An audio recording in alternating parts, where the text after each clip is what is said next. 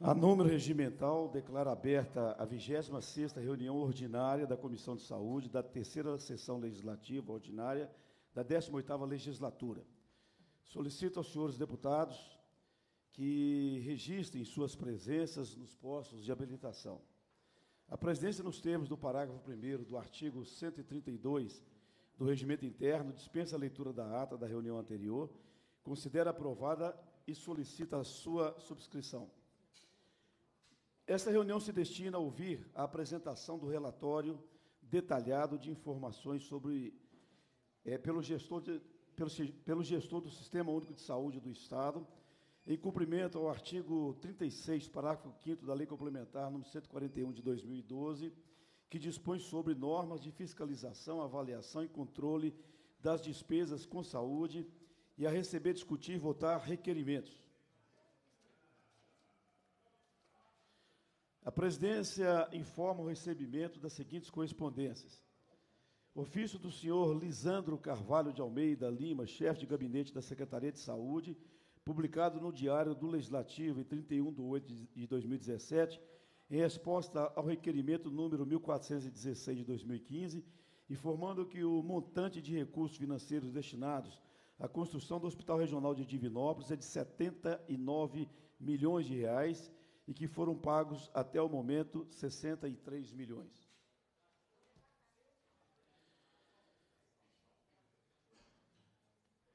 A presidência comunica que, a partir também desta reunião, todas as, as, nossas reuniões serão transmitidas ao vivo no YouTube, através do canal da Assembleia de Minas. A presidência acusa o recebimento das seguintes proposições, das quais foram designadas como relator.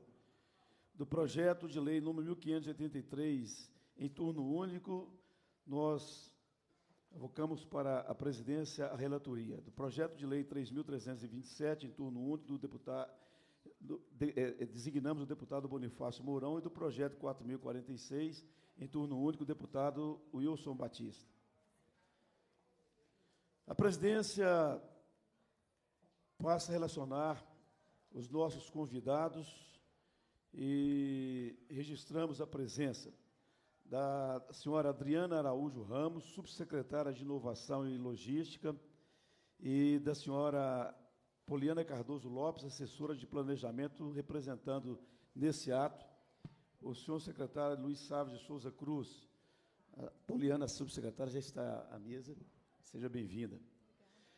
Nós registramos a presença com muita satisfação de um grande parceiro dessa comissão, que tem é, feito questão de estar presente praticamente em todos os convites que a comissão lhe dirige ao desembargador doutor Renato Luiz Dresch, que é o coordenador do Comitê Estadual de Saúde, representando o desembargador Herbert José Almeida Carneiro, presidente do Tribunal de Justiça do Estado de Minas Gerais. Seja bem-vindo, doutor Renato. Muito importante a presença do senhor nessa reunião e em todas que o senhor participou, principalmente no debate que tivemos aqui sobre a judicialização da saúde. Não só aqui, mas também em Montes Claros. Nós comunicamos a presença da senhora Délia Vilani Monteiro, coordenadora de fiscalização e avaliação de macrogestão do Estado, representando neste ato o conselheiro Sebastião Alverso Ramos de Castro, que representa, que representaria o Dr. Cláudio Couto Terrão, presidente do Tribunal de Contas do Estado de Minas Gerais. É outra providência que nós tomamos de convidar para todas as audiências públicas dessa comissão, ou pelo menos das mais importantes, um membro do Tribunal de Contas do Estado de Minas Gerais, para que esteja presente e possa acompanhar as nossas sessões. Nós convidamos, e até o momento não chegou, o senhor promotor de justiça, Gilmar de Assis, coordenador do Centro de Apoio Operacional das Promotorias de Justiça e de Defesa de Saúde, é o CAL Saúde. Nós comunicamos também a presença, com muito prazer, do senhor Eduardo Luiz da Silva, que é presidente do Conselho de Secretarias Municipais de Saúde de Minas Gerais, do COSENS, Minas Gerais, outro grande parceiro, outro batalhador, incansável, pelas saúdes públicas dos nossos municípios representando no ato 852 secretários municipais, uma vez que o Eduardo é secretário municipal do município de Itaúbeiras. Da senhora Júnia Guimarães, senhor presidente da Fundação Hemominas. Muito obrigado, Júlia. Do senhor Edivar Pereira, diretor-geral da Escola de Saúde Pública.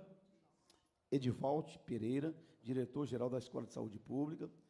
E da senhora Karina Nicole Ribeiro, assessora da Diretoria de Planejamento, Gestão e Finanças da FEMIG.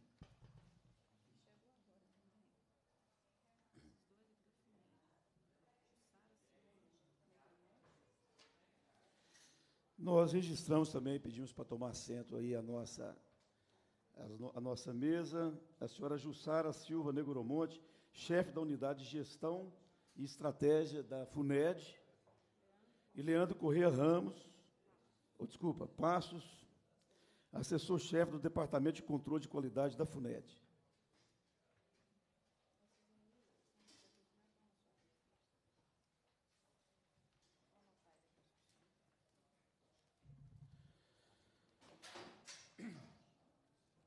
Na qualidade de coautor do requerimento que deu origem a esta audiência, passo a tecer rápidas considerações e, em seguida, passarei a palavra aos demais parlamentares, também coautores, para que façam uso da palavra. Bom, em primeiro lugar, além de agradecer a presença de todos, é, nós queremos que essa nossa audiência, essa nossa reunião, que é uma da reunião prevista na legislação mineira para a prestação quadrimestral de Contas da Secretaria. Nós queremos cumprimentar aí a nossa subsecretária e os demais que já tivemos o prazer de cumprimentá-los e dizer da importância é, desta reunião, principalmente no contexto que nós estamos vivendo na saúde pública ou com a saúde pública do nosso país e do nosso Estado. Nós entendemos que ah, o governo de Minas ele passa por uma situação caótica, uma situação muito difícil, e, e principalmente entendemos que essa, essa dificuldade da, da, da situação financeira do Estado, ela reflete diretamente na sua administração, nos seus mais variados eh, aspectos na, na educação, na saúde, na execução das obras, na execução orçamentária. Mas, de uma maneira muito especial, nós temos uma preocupação muito grande com o que está acontecendo com a saúde pública aqui de Minas Gerais. Eu tenho procurado fazer visitas constantes a todas as regiões. Fizemos duas audiências da comissão, foram as únicas duas audiências que pudemos fazer fora desse recinto, uma delas em São Sebastião do Paraíso, no sul de Minas, e a outra dela, e a segunda audiência pública na cidade de Bocaiúva, no norte de Minas.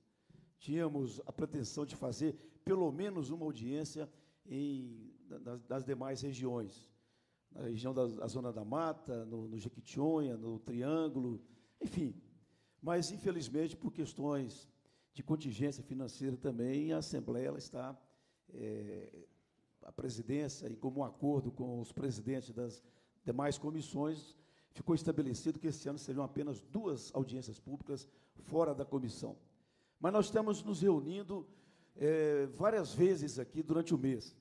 A partir agora dessa, desse próximo mês de outubro, nós estaremos realizando uma audiência pública todas as terças-feiras, aqui na comissão, a nossa reunião ordinária na quarta e também todas as quintas-feiras nós estaremos também promovendo uma audiência pública aqui na Comissão de Saúde.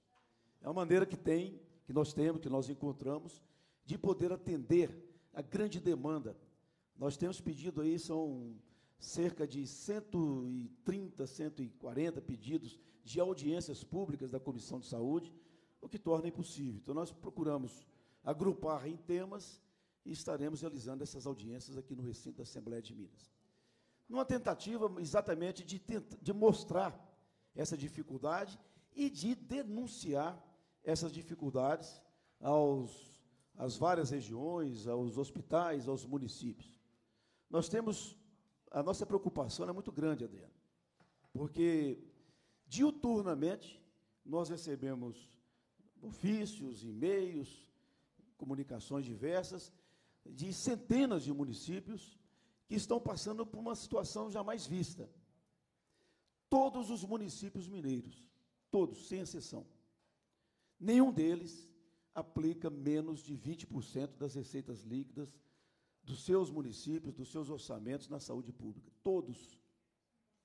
Existem municípios que chegam a aplicar mais de 30%.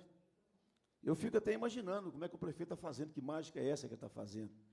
Porque ele tem uma folha aí que gira em torno de 45%, é obrigado a aplicar 25% da educação e ainda está aplicando mais 30%, o que está ultrapassando o, o 100% da, das suas receitas, dos seus orçamentos. Não sei como está conseguindo isso, mas estão fazendo.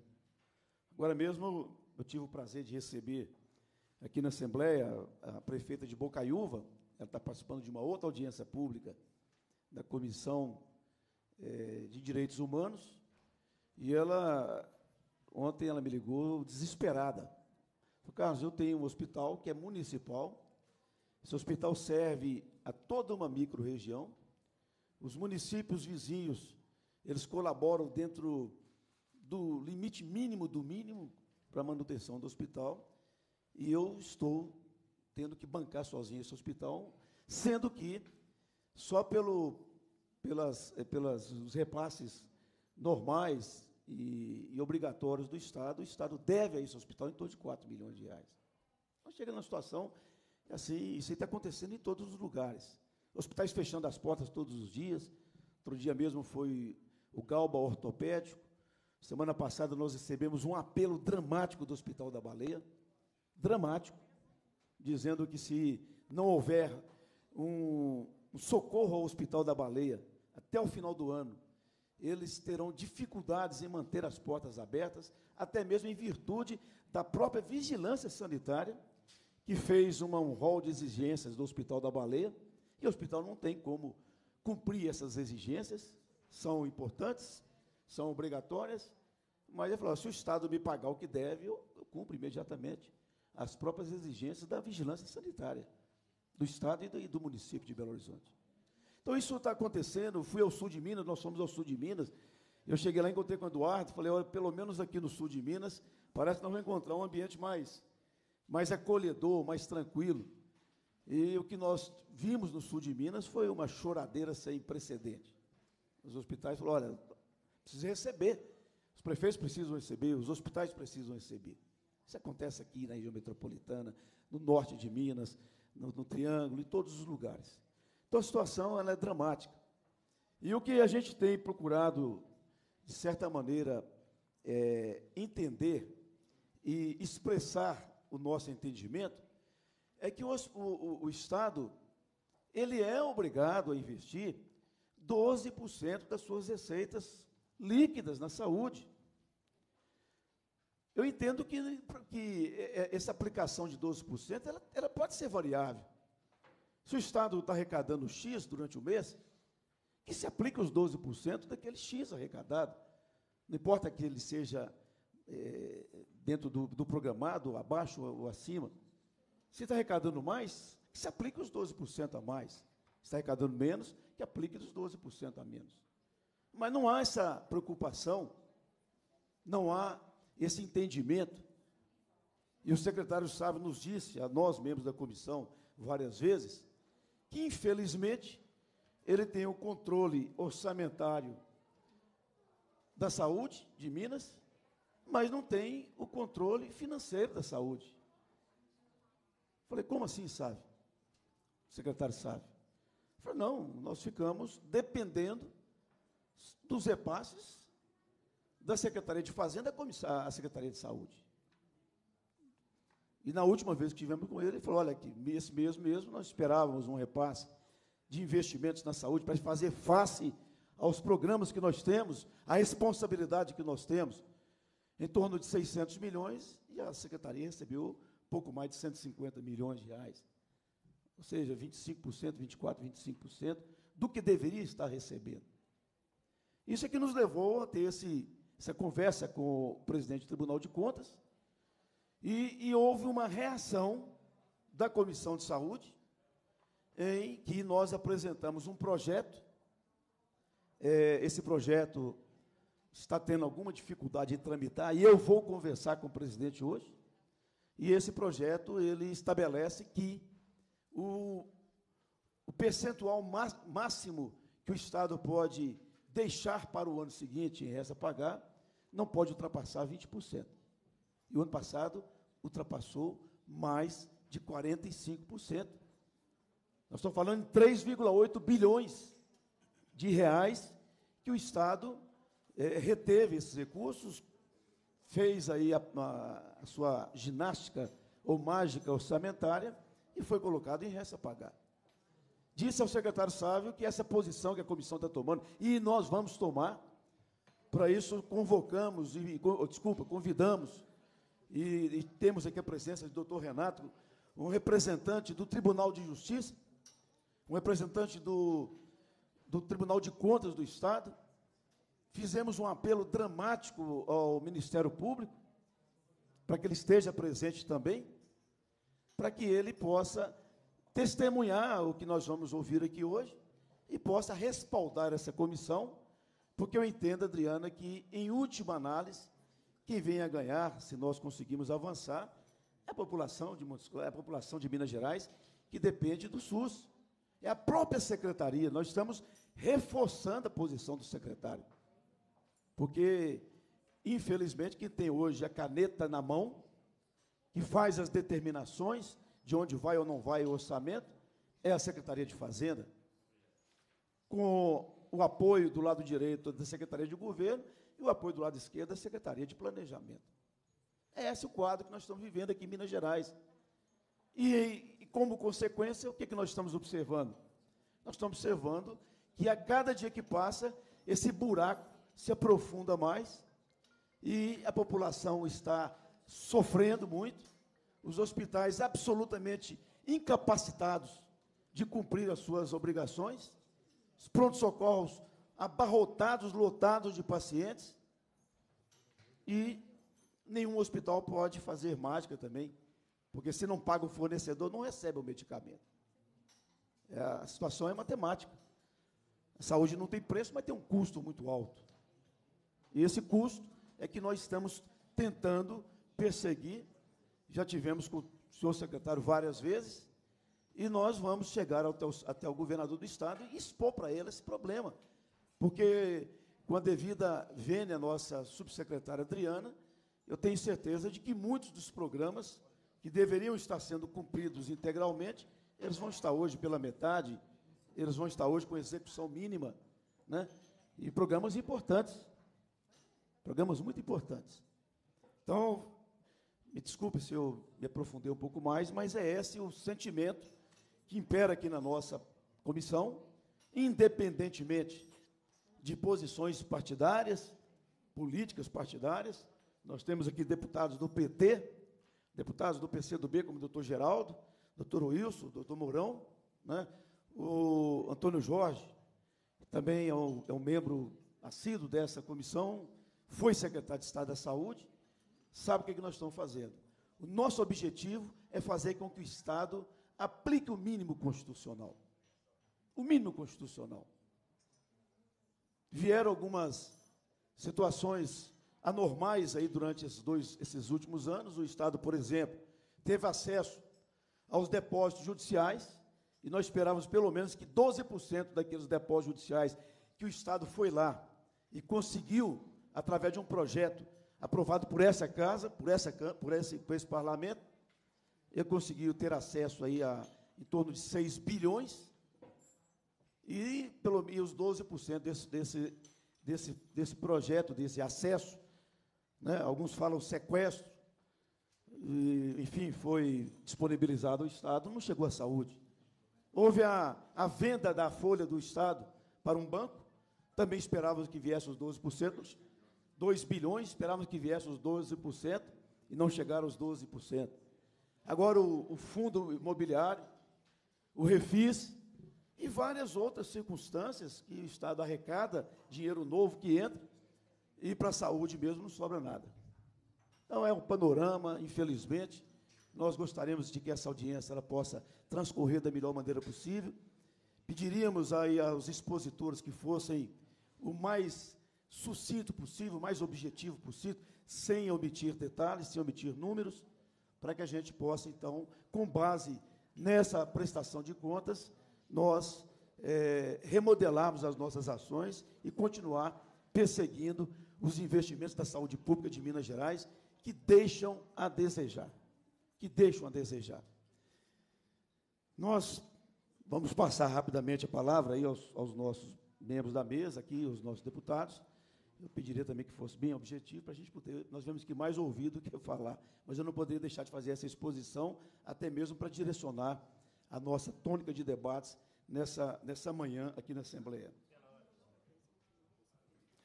A desculpa também, queríamos registrar a presença, agradecer do senhor José Pereira de Souza, conselheiro estadual de saúde, relator da Câmara Técnica de Orçamento e Financiamento do Conselho Estadual de Saúde, representando Ederson Alves da Silva, que é o vice-presidente. Passamos a palavra ao nosso vice-presidente da Comissão de Saúde, doutor Wilson. Gostaria aqui, inicialmente, de agradecer a todos os participantes desta audiência.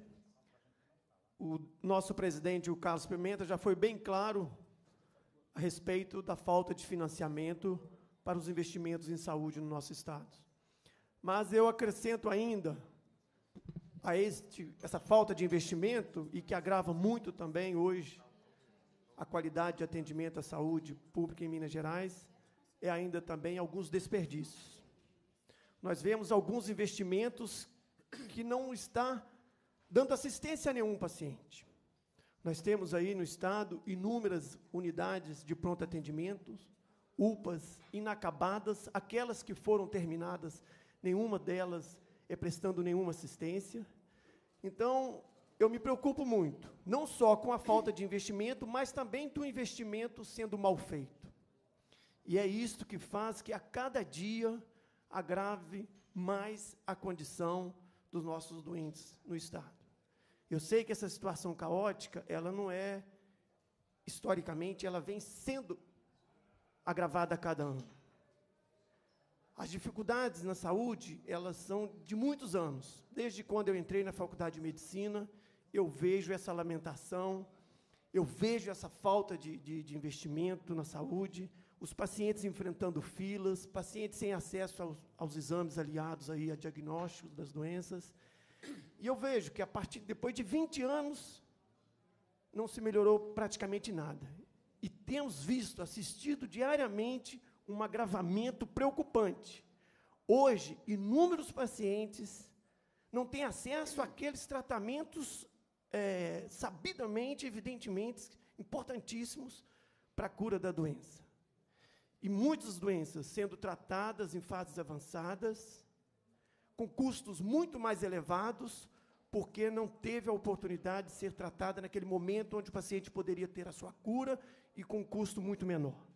Então, além dos investimentos que são muito abaixo do que é necessário, nós ainda convivemos com desperdício, com investimentos é, distorcidos, e, infelizmente, quem realmente é, sofre isso é o paciente que, que, que tem como única forma de tratamento o SUS. E hoje nós assistimos isso diariamente, pacientes com doenças agravando em casa, ou às vezes internados em hospitais que não estão preparados para dar nenhum atendimento àquele paciente. Então, eu acho que é isso. Nós estamos aqui hoje mais para ouvir como é, vai ser essa apresentação, esse relatório, como está sendo é, feito isso na Secretaria de Saúde, para que a gente possa, junto com a Comissão de Saúde, ser mais um ator para minimizar essa condição dramática da saúde em Minas Gerais. Obrigado, doutor Wilson. Passamos a palavra também para os seus rápidos cumprimentos aí, o nosso decano da casa, grande deputado, Bonifácio Mourão. Senhor presidente, senhoras e senhores deputados, distintos convidados, nós queremos também ser objetivos e rápidos, mas como eu tenho que participar dentro de pouco tempo da Comissão de Constituição e Justiça, senhor presidente, nós vamos aproveitar esses momentos para ratificar as palavras de Vossa Excelência, do deputado doutor Wilson, e dizer que, na verdade, é lamentável o descaso que tem, tem acontecido com a saúde em Minas Gerais e com outras áreas. Quando Vossa Excelência falou e mostrou as questões da saúde, nós ficamos pensando aqui também na área da educação, por exemplo. Ontem mesmo eu fui procurado por alguns prefeitos dizendo que o Estado não repassa as verbas devidas ao transporte. De oito repasses, o Estado repassou apenas três. Está cinco prestações atrasadas. Isso na área da educação. Na área da segurança pública, nós estamos vendo é, caótica, a violência aumentando cada vez mais. Então, esses pilares, saúde, educação, segurança pública, a gente estão vendo que estão sendo a marca negativa do atual governo do Estado de Minas Gerais. E essa questão de o, o deputado Carlos Bento, nosso presidente, mostrou bem que o governo tem conseguido algumas arrecadações extras, a exemplo dos depósitos judiciais, da folha de pagamento vendida e assim por diante. Agora, o governo Pimentel tem alegado que tem um crédito muito grande com a União. Está dizendo que deve 88 bilhões e que tem um crédito de 135 bilhões. Isto nas alegações do governo. Não é dívida consolidada. A dívida consolidada é a de Minas Gerais dos Estados brasileiros com a União, coisa que vem desde 1998, há muitos anos, ainda no tempo de Fernando Henrique, quando foi consolidada a dívida e os estados assumiram aquela questão. Hoje, com os juros e as correções, Minas deve à União 88 bilhões.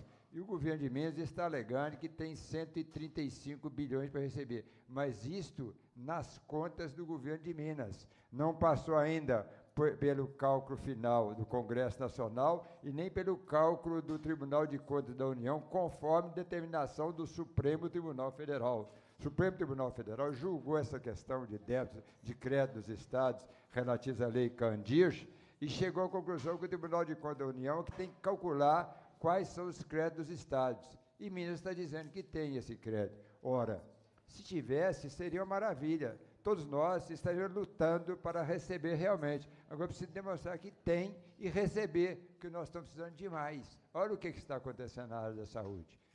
É, o governo tem alegado que esse crédito com a União é que tem prejudicado obras na falta total e absoluta de obras, mas como é que não acontecia isso nos governos passados? No governo, nos governos passados, por exemplo, nós não víamos hospitais fechando como está acontecendo, carência de remédio. Não existia, o ide, não era o ideal, é claro, estava longe do ideal, mas não estava na situação, estava longe do que está acontecendo atualmente.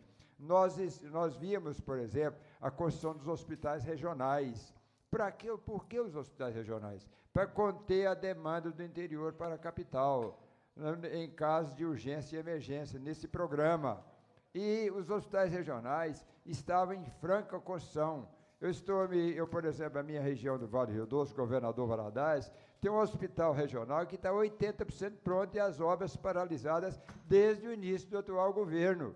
O mesmo acontece em Teofotone, em Montes Claros, em Divinópolis, em várias cidades polos de Minas Gerais. O objetivo é conter a demanda para a capital que não está suportando e as pessoas morrendo na estrada por falta de medicamento, por falta de, de, tratamento adequado para os seus problemas, principalmente as pessoas que dependem do SUS, as pessoas mais carentes. Nós colocamos no orçamento do Estado, o governo mandou e nós aprovamos, por exemplo, a cidade de Governador Valadares, Montes Claros e Teofotone, para os hospitais regionais, cerca de 25 a 30 milhões para cada um dos hospitais, para terminar as construções. E o governo não fez absolutamente nada. Os estados, os hospitais estão sendo depredados. Eu estou mostrando, além daquela, daqueles leitos que estão sendo fechados, das áreas fechadas nos hospitais e de hospitais fechando, aqueles em construção estão com as obras completamente paralisadas. Isso aí não tem nada que justifica. Nós estamos aqui na presença do presidente do COSEMES. Eu lembro que o COSEMES, é, no, no, presente ano, em junho deste ano, fez um cálculo mostrando que o Estado estava devendo 1 bilhão 559 milhões 927 reais e 917 centavos aos municípios. Isso em junho deste ano. Nós não temos notícia do Estado ter repassado nada. Deve ter aumentado cada vez mais essa dívida. E como é que os municípios podem suportar uma situação dessa, como mostrou muito bem o nosso presidente Carlos, Carlos Pimenta. Os municípios não têm a menor condição. Tudo recai em cima dos municípios. E o Estado, enquanto isso, o governador do Estado está distribuindo medalhas, como distribuiu tantas em Diamantina, de homenagem. Ele mesmo recebeu medalha de homenagem. Homenagem por quê? É preciso que o povo de Minas Gerais enxergue essas coisas. Homenagem por quê? Qual é o, o, mérito em deixar a saúde como ela está em Minas Gerais? A educação, a segurança pública, a ausência total e absoluta de obras. Isso não faz o menor sentido. Então, nós ratificamos as palavras do nosso presidente, do deputado doutor Wilson, de todos os deputados desta comissão, que é uma comissão de fiscalização permanente e que tem desempenhado o seu trabalho nesse sentido. Nós não temos poder deliberativo, mas temos o direito de fazer a cobrança, de fazer a fiscalização e o dever de efetuá-las é, com dignidade, com afinco, com muita dedicação. É o que nós estamos procurando fazer ao longo do tempo. Muito obrigado, presidente. Obrigado e passamos também a palavra ao deputado doutor Geraldo Pimenta.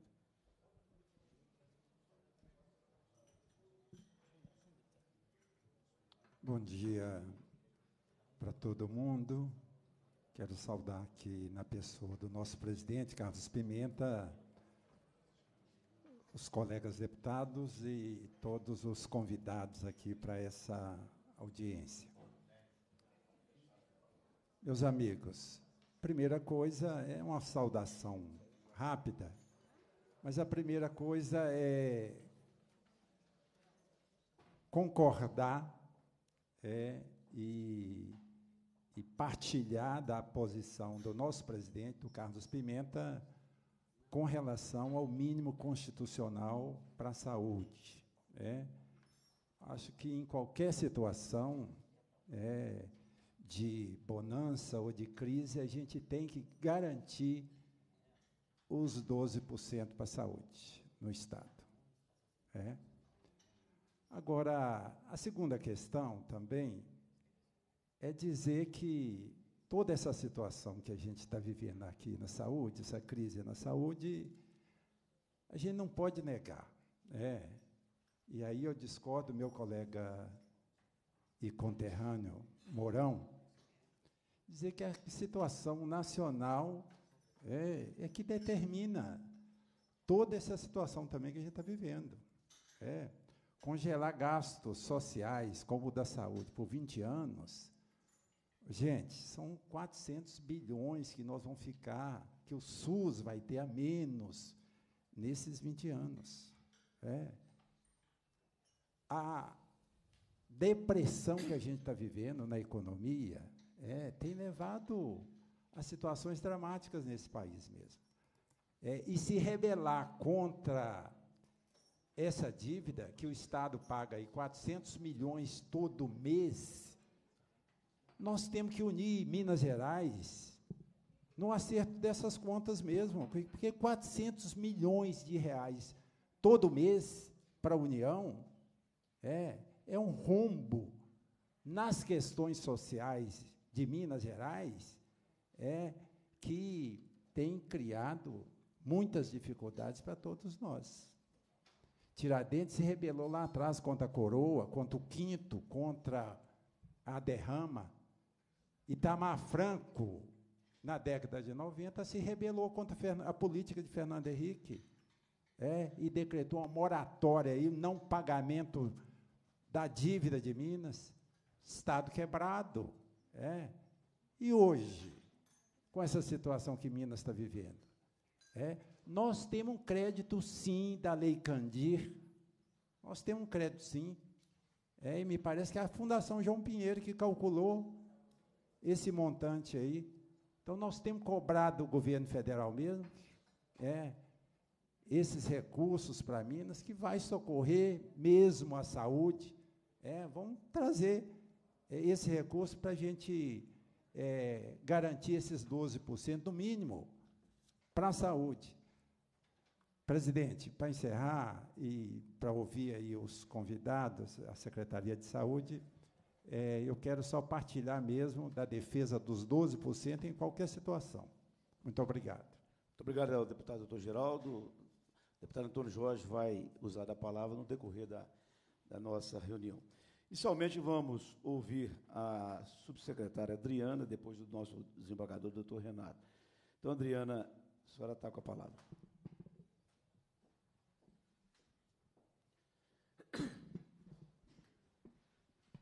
Bom dia a todos e todas. Eu gostaria de cumprimentar a mesa na pessoa do deputado Carlos Pimenta, dizer que é, é um prazer estar aqui, né, mais uma vez, representando o secretário Sávio, embora não, não seja, embora nós não tenhamos né, aquelas informações desejadas por todas, que é o cumprimento dos 12%, faço das palavras do deputado Carlos Pimenta Carlos Pimenta, as minhas e a do secretário Sábio também. Né? Como muito bem ele colocou, é, infelizmente a Secretaria de Saúde não tem a gestão financeira né, do, do, dos 12%, o que, o que é um, um descalabro, na verdade, onde nós temos essa obrigação de empenhar, empenhar, empenhar, e, e, criar mais dívidas, né, o que traz essa cobrança para a secretaria, e, na verdade, existe esse descolamento entre o orçamentário e o financeiro, que hoje, da, da nossa primeira apresentação que nós fizemos aqui, girava em torno aí de 3 bi e meio e hoje a situação não é diferente, né? O que vem acontecendo na prática, como eu já coloquei aqui outras vezes também, é uma dívida grande inscrita de restos a pagar, que veio de 2014 para 2015, girando em torno de um bi e meio, bi 800. Essa dívida foi assumida pela gestão atual em 2015 e esse valor de restos a pagar vem se acumulando. Como, como os senhores poderão ver na apresentação, é, esse ano só de restos a pagar já foram pagos quase 2 bi. Né? E o que é, é, os valores assumidos esse ano acaba que giram é, em torno de. vão se acumulando. Né? Com 2 bi, provavelmente passará para o ano que vem, se continuar nesse ritmo, né, desse desempenho, mais ou menos uns 3 bi. E aí é a nossa grande preocupação, eu acho muito importante a, a presença aqui da, da, do Tribunal de Contas, que como, como que essa questão ficará no último ano de gestão, em 2018, né, desse, desse cumprimento. Será que é, vai ser possível, mais uma vez, um termo de ajuste de gestão, como foi feito na gestão né, de 2014, no final de 2014? Isso é uma pergunta que nós também queremos saber. A realidade é essa: a cobrança na Secretaria da Fazenda, nos outros órgãos de governo, junto ao governador, é diária, pelo secretário Sávio, por essa liberação financeira. Infelizmente, a Secretaria de Saúde está atrasada com todos os seus programas, sem exceção, o que vem comprometendo, sim, as obras, o que vem comprometendo a entrega de medicamentos, o que vem comprometendo os procedimentos, o que vem comprometendo o custeio dos programas hospitalares, a exemplo aí do PROSP, o que vem comprometendo Rede Cegonha, Rede Resposta, todos os programas. No ano passado, nós tivemos uma realidade de, de uma liberação financeira mensal girando em torno de 250 milhões. Esse ano, deputado Carlos Pimenta, a nossa realidade está girando em torno de 150 milhões. 130 a 150 milhões. E é exatamente essa cobrança que nós temos feito de forma recorrente. É, no início do ano, nós tínhamos a expectativa do IPVA, com o aumento da arrecadação, e isso, infelizmente, não se mostrou eficiente para a área da saúde. Depois, é, agora hoje, nós estamos aí com a expectativa do refis, né, que foi exatamente essa promessa que nós tínhamos aí de 500 a 600 milhões. Infelizmente, também, mais uma vez, não se efetivou. É, nós temos hoje, de, no mês de setembro, o que nós tivemos uma liberação foram 60, 60 milhões de reais até hoje. Então, enfim, é, é uma briga né, do secretário Sávio, é uma briga nossa, diuturnamente nós temos lutado né, é, por esses 12%.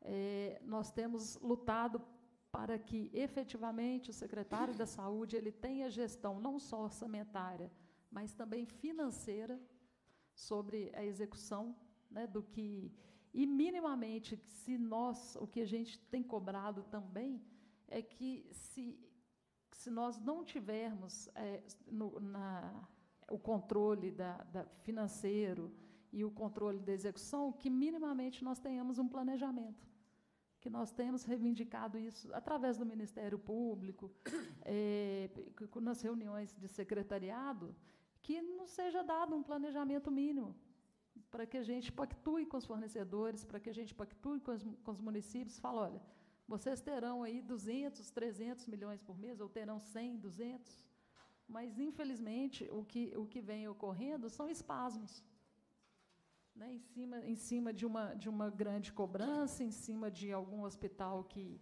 que fecha, ou em cima de algum fornecimento que se interrompe, é, vem, vem uma liberação. Então, o que a gente cobra, né, e eu acho que esse quórum aqui ele é muito importante para nos ajudar nessa cobrança, como, como o nosso presidente já colocou, é que é, exista é, é, esse comprometimento, esse planejamento com a saúde. Né? A saúde realmente está tá tá carente de recursos, ela está deficitária, ela está de, deixando de fazer as suas entregas, que são entregas importantes, né? E que, infelizmente, nós não, não estamos cumprindo. Mas o que eu quero deixar claro é que a Secretaria de Saúde, ela diuturnamente vem cobrando isso a todos os fóruns. Então, que esse aqui sirva né, que seja mais um espaço para que a gente possa fortalecer essa cobrança e quem vai ganhar no final né, das contas com toda essa cobrança é a sociedade, quem espera né, os nossos serviços e produtos.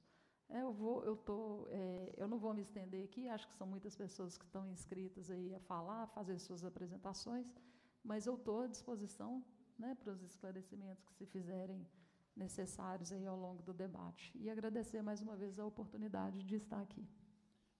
Nós agradecemos a, a senhora Adriana, nossa subsecretária, e o, o que impede, na verdade, essa comissão, até mesmo de estudar, doutora Adriana, uma, uma posição mais drástica, mais séria, não, não mais séria, mais drástica, mais contundente, que as nossas posições, graças a Deus, elas sempre são pautadas na seriedade, é, até mesmo de, de pensar na possibilidade de uma intervenção federal na saúde pública de Minas Gerais, como aconteceu no estado do Rio de Janeiro e aconteceu no estado do Rio Grande do Sul, é exatamente esse sentimento que a senhora hoje aqui, de uma maneira muito bastante corajosa, né, bastante transparente, né, vem dizer das dificuldades e da luta que a secretaria trava para tentar conseguir mais recursos. Se não fosse esse entendimento da própria secretaria, do próprio secretário, da secretária de junta, dos técnicos, que muitas vezes ficam constrangidos quando a gente vai até a secretaria e denunciar, como foi 15 dias atrás, um mês atrás, que nós fomos lá para denunciar o atraso no repasse dos recursos do SAMU, do Macro Norte, do Norte de Minas. Quatro meses de atraso. E quando fizemos essa denúncia, eu, eu senti até um, o constrangimento da, da diretora lá da área de, de urgência e emergência. E tive pena dela. Falei, olha, já conversei com o Sávio, é importante conseguir, porque se o SAMU parar, aí pronto, acabou. Não tem, não tem nada que pensar mais, não. É, é quem socorre a pessoa na rua, é quem socorre infartada, é quem socorre a pessoa que, que é atropelada, que leva um tiro, que está doente. Né? E estava já os municípios cumprindo a, suas, a sua parte, a União cumprindo a sua parte, o Estado com quatro meses de atraso, não só do SAMU Macronorte, mas de todos os SAMUs. Houve uma, um esforço muito grande e colocou-se em dia os recursos do SAMU. Então, eu, eu quero confessar também, Adriana, que o que você falou aqui é que cria um, até um certo, vamos dizer assim, um, freio aí no, no, nos nossos, nas nossas vontades, juntamente com o COSEMS, ali o Eduardo vai falar daqui a pouco, para a gente poder levar essa questão a um nível maior. Porque quando você vê as UPAs paradas, são sessenta e tantas UPAs paradas em Minas. E eu tive lá no Ministério da Saúde conversando com o secretário, o Ricardo, o secretário, o ministro Ricardo, e com o doutor Francisco, que é o secretário executivo do Ministério da Saúde, eu falei, não, espera aí, tem alguma coisa errada. Os nossos repasses para Minas Gerais estão rigorosamente em dia. do Ministério da Saúde para Minas. E aí? E onde é que está esse dinheiro? Né? Então, são perguntas que a gente está tentando descobrir. Eu tenho, eu tenho tido um comportamento muito rigoroso com o, o secretário Bicalho da Fazenda, que é conterrâneo nosso, lá do norte de Minas, lá de Salinas, e ele falou assim, doutor Carlos, aumenta a arrecadação de Minas que eu passo os recursos. Mais uma vez, falei, não, não é isso, secretário. Se arrecada 200 milhões, 12% de 200 milhões tem que ir para a saúde. Se arrecada 1 bilhão, se arrecada 3 bilhões, ou 4 ou 5 bilhões, os 12% tem que ir para a saúde. A nossa briga é essa. No momento em que ele cumprir os repasses para a saúde, nós encerra até qualquer discurso aqui de, da Comissão de Saúde, mas não está fazendo isso.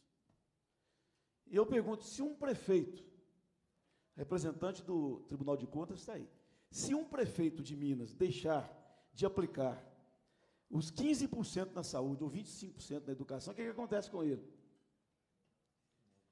Ele fica absolutamente inadimplente de receber qualquer recurso público. E se ficar de uma gestão para outra, ele fica impedido de disputar o um mandato eleitoral. Por que esse olhar complacente com o governo e não tem o mesmo olhar com os prefeitos? Que estão também passando pelas mesmas dificuldades, ou talvez até maiores. Então, é esse, é esse o, o, a alma da nossa história, é o nosso que nós estamos perseguindo.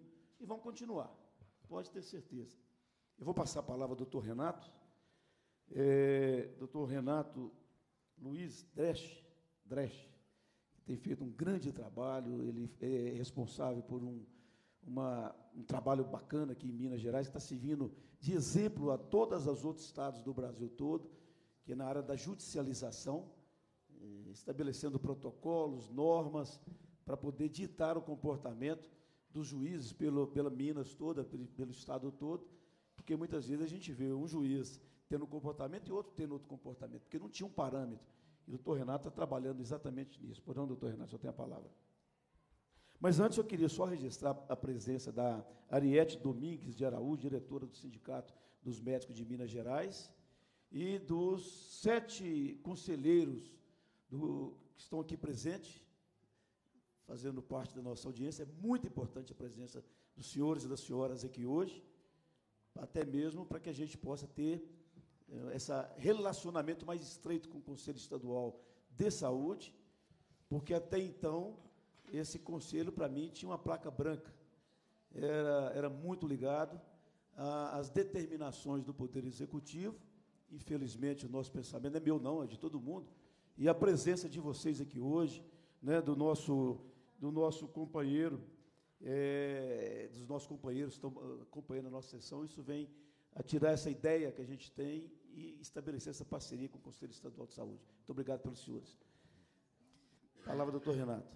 Bom dia a todos. Deputado Carlos Pimenta, presidente dessa, dessa comissão, deputado Wilson Batista, deputado Geraldo Pimenta, deputado Antônio Jorge. É um prazer estar aqui mais uma vez. Nós, judiciários, estamos aqui para compreender um pouco o que ocorre nos gastos com a, com a saúde, porque a judicialização é efeito a judicialização tem que ser tratada como efeito, mas precisa compreender quais as razões pelas quais chegando no Poder Judiciário. E as demandas têm aumentado bastante no país inteiro. E se vê que realmente subfinanciamento, quando tem financiamento, cai no Poder Judiciário. A minha preocupação, na verdade, não é de aumentar ou diminuir a judicialização. Se não tiver financiamento, ela vai crescer.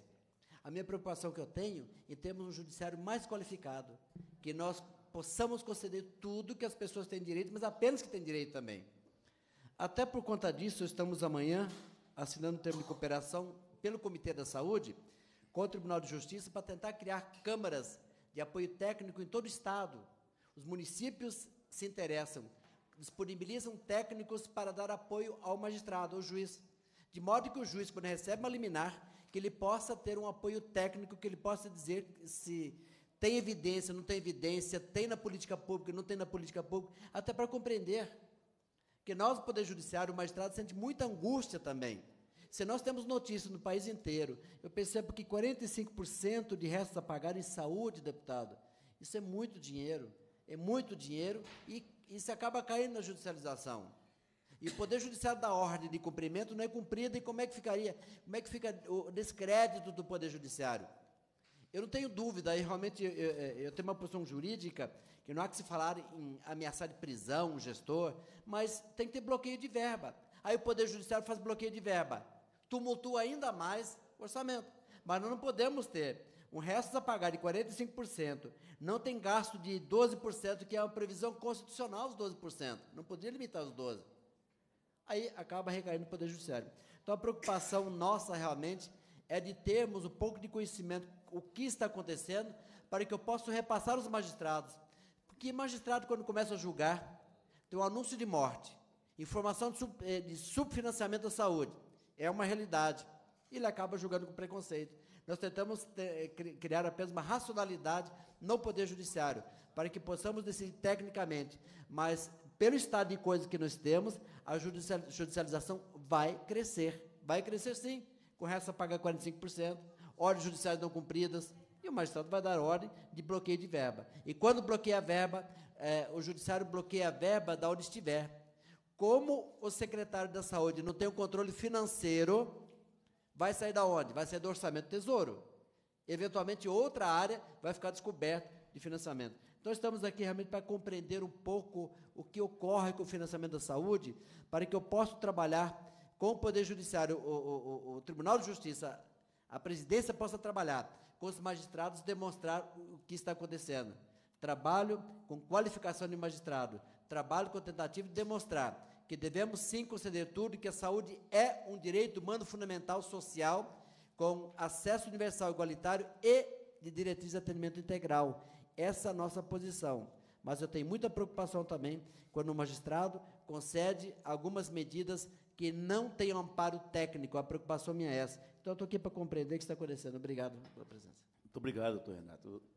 A posição do senhor é muito consciente, responsável, e ela vai resolver esse problema, a normatização, o apoio das câmaras técnicas aos magistrados aí, que nós temos em todo o Estado. E mesmo aquele juiz de primeira instância, que está lá no, na região distante, às vezes sem acesso a informações, sem até condições de nomear né, um, um técnico para poder auxiliá-lo, seja médico, alguma coisa assim nesse sentido. E, e, muitas vezes ele fica sem saber, e às vezes toma uma decisão de acordo com aquele momento até de, de, de, de muita emoção, né, porque está julgando a vida humana. E essa, esse trabalho que o senhor está fazendo ele vai ser fundamental, fundamental. Nós queremos apoiá-lo em tudo, respaldar as posições de Vossa Excelência, além de agradecer muito a presença do senhor. Vou passar a palavra ao companheiro Eduardo, que é presidente do, do, do COSEMES, representando aqui 853 municípios. Muito obrigado pela presença, Eduardo. Bom dia, deputado Carlos Pimenta. Bom dia, Adriana, deputado Mourão, doutor Wilson, deputado Geraldo, Antônio Jorge. Queria, ao longo da fala de todos que já explanaram, fui destacando alguns pontos, eu queria voltar a alguns deles.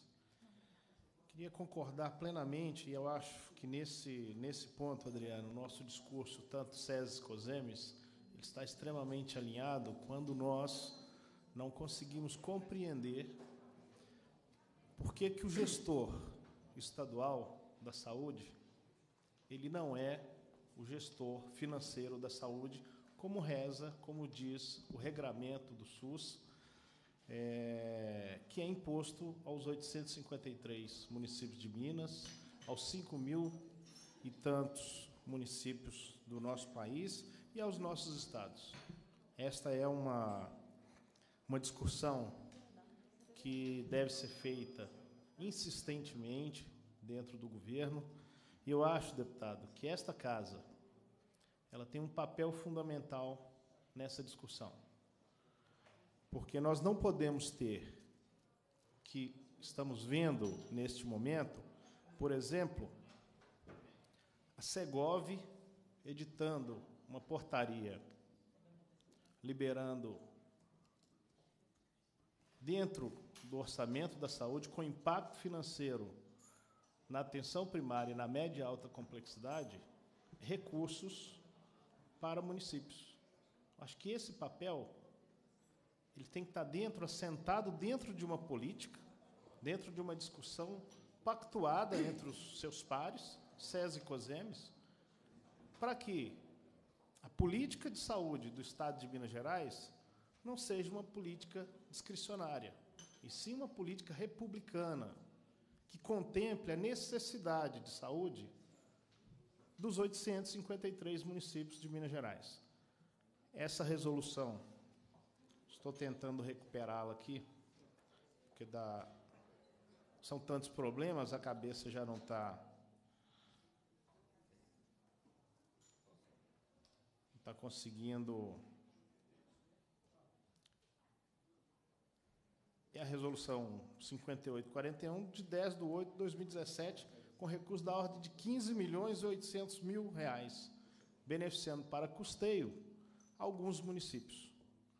Eu fico pensando se todos os outros municípios não contemplados pela resolução, se eles não passam pelas mesmas dificuldades de custeio do seu serviço de saúde. Esse é um ponto fundamental. Eu acho que em qualquer instância de pactuação, qualquer recursos Qualquer recurso que seja proposto para custeio será bem-vindo à saúde e nós, COSEMES, não seremos contrários, mas que isso esteja dentro da saúde e não discricionariamente por outras, por outras secretarias. Concordar também com todas as falas que mostra que estamos à beira do caos na saúde de Minas Gerais hospitais fechando, cenário que já foi posto, hospitais fechando, eu posso citar Diamantina, Caratinga, Ponte Nova, é, Fabriciano, é, Teoflotone, né? E a grande maioria dos 480 e poucos hospitais de Minas Gerais com enormes dificuldades para cumprir aquilo que é o seu papel. Mas, para além de pensar nos hospitais, precisamos também, deputado, pensar na atenção primária. Pensar que os recursos que deixaram de ser pagos desde o último quadrimestre de 2016, e aí estamos falando de recursos da ordem de 140 milhões, eles fazem falta para os municípios cumprir o seu papel de prevenção, promoção e educação em saúde. E aí, numa lógica que todos nós conhecemos, todos nós técnicos da saúde conhecemos, quando não fazemos uma atenção primária efetiva, nós vamos chegar nos hospitais. Então, a lógica de investir na atenção primária,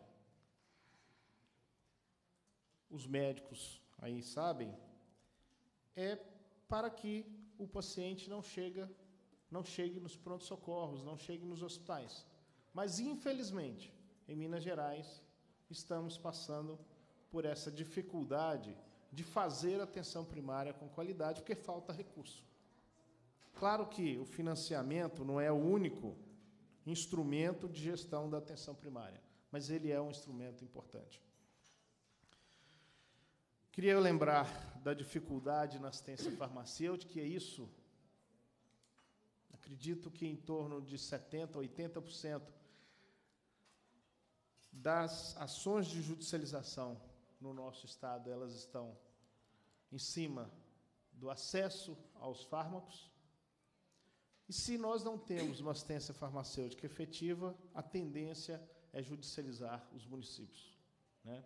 é porque eles estão mais próximos. E o entendimento do, do, dos promotores, dos do juízes, é infelizmente, vamos judicializar quem está mais próximo.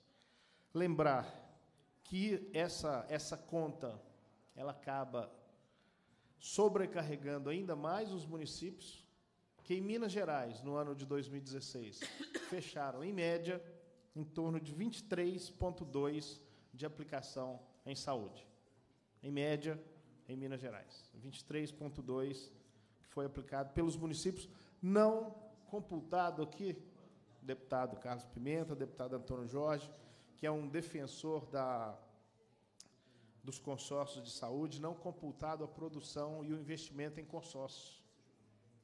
Que agora pactuamos na CIB uma deliberação que vai apurar o que vai ser produzido pelos consórcios. E aí nós teremos realmente uma capacidade de saber o que, que o, os municípios estão investindo a mais do mínimo constitucional proposto pela legislação. Dizer que o papel dos órgãos de controle neste momento crise e para garantir o investimento real dos 12% na saúde em Minas Gerais é fundamental. E aí eu conclamo o colega do Conselho Estadual para que nós possamos fazer essa discussão muito seriamente na direção, na mesa diretora do, do, do Conselho, porque quando nós usamos o estratagema de empenhar e deixar em resto a pagar, nós estamos limitando o acesso ao direito fundamental, que é o direito à saúde. Então, quando nós, estados, União e municípios, cumprindo, cumprimos aquilo que está proposto na lei, mesmo que no caminhar e nas discussões da política da saúde nós vamos criando outras estratégias, mas nós estamos garantindo pelo menos o financiamento daquilo que está posto. Estamos em meio, deputado Antônio Jorge, a uma discussão seríssima que já se arrasta há três anos da política hospitalar. Estamos em vias de pactuá-la na próxima CIB, uma discussão que tem sido muito cara, tanto para o COSEMES quanto para a SES, e aí, nesse ponto, eu vou destacar todo o papel, toda a competência que a SES tem colocado para fazer essa discussão, junto com os técnicos do COSEMES, com a comissão que foi tirada com participação de várias regiões dos municípios, para que nós possamos olhar para essa política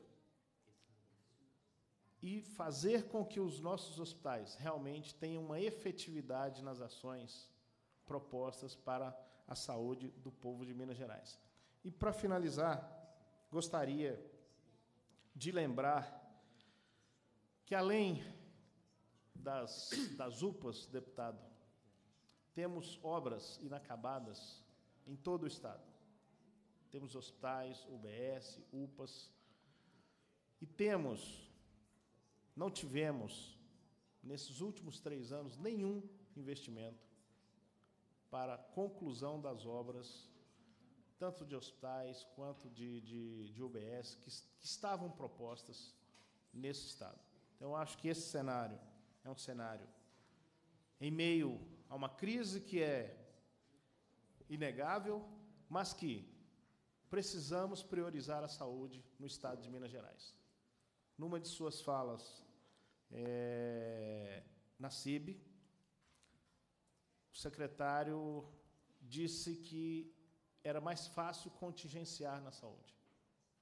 Quando contingenciamos os recursos da saúde, estamos contingenciando o acesso e o direito à vida e o direito à saúde de qualidade nesse Estado. E é isso que eu gostaria que nós voltássemos a discutir no Estado de Minas Gerais.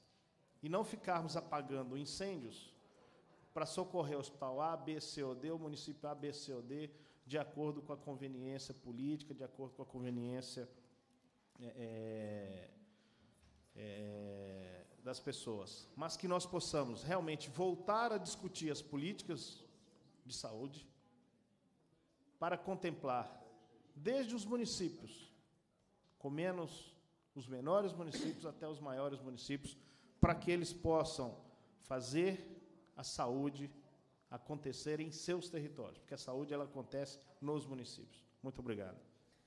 Obrigado, o nosso amigo e companheiro Eduardo Luiz da Silva, que é o presidente do COSEMS, e, e que mostrou aqui, nas suas palavras, a vivência que ele tem, a experiência que ele tem e a luta. Porque deve ser muito árduo o seu trabalho, a sua luta, a pressão que faz em cima, ligando para o COSEMES, pedindo socorro.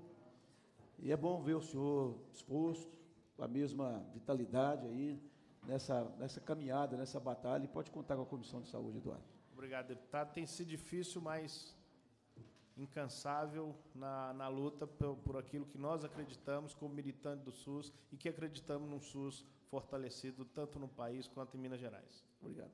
Vamos passar a palavra a Délia é, Monteiro, que é coordenadora de fiscalização e avaliação é, da macrogestão do Estado e represent, representando o conselheiro Cláudio Couto Terrão, que é o presidente do Tribunal de Contas do Estado. Délia, por favor. Bom dia a todos. Bom dia, senhor presidente. É, o Tribunal de Contas está aqui hoje e a nossa missão é ouvir. Temos consciência né, de todos os problemas que têm acontecido no Estado, estamos atentos e vamos realizar o nosso papel, que é fiscalização. Muito bem. Eu vou passar a palavra ao deputado Antônio Jorge, depois nós voltaremos aí aos nossos debates. E, por fim, depois, a apresentação da, das contas do Estado aí no último quadrimestre. Por favor, Antônio Jorge. bom dia a todos e a todas aqui na mesa, através do nosso presidente, cumprimentar a todos os presentes, através da Adriana, uma técnica muito isenta, muito capacitada, que mostra aqui a sua independência e coragem de vir aqui como técnica, é, colocar de forma muito nua e crua a situação. Pede para fechar a porta. É, desse verdadeiro prejuízo para a sociedade, que são as contas da saúde, e através do Dr. Dresch, essa pessoa tão notória e importante para o movimento da saúde, e cumprimentar a todos que estão eh, compondo a mesa aqui. Bem, eu, eu acho que essa, essa nossa audiência é um desdobramento da Lei 141, que gerou essa obrigação, é, dos gestores é, apresentarem quadrimestralmente sua execução, mas, assim, dada a nossa situação, eh, nós estamos discutindo questões muito mais aprofundadas do que meramente uma apresentação cartorial de informações contábeis. E, de fato, o momento exige de todos nós, de todos nós, uma reflexão é, realmente de que é, os números são incontestes. A própria secretaria, na sua fala oficial, assume a inadimplência de todos os seus compromissos, né?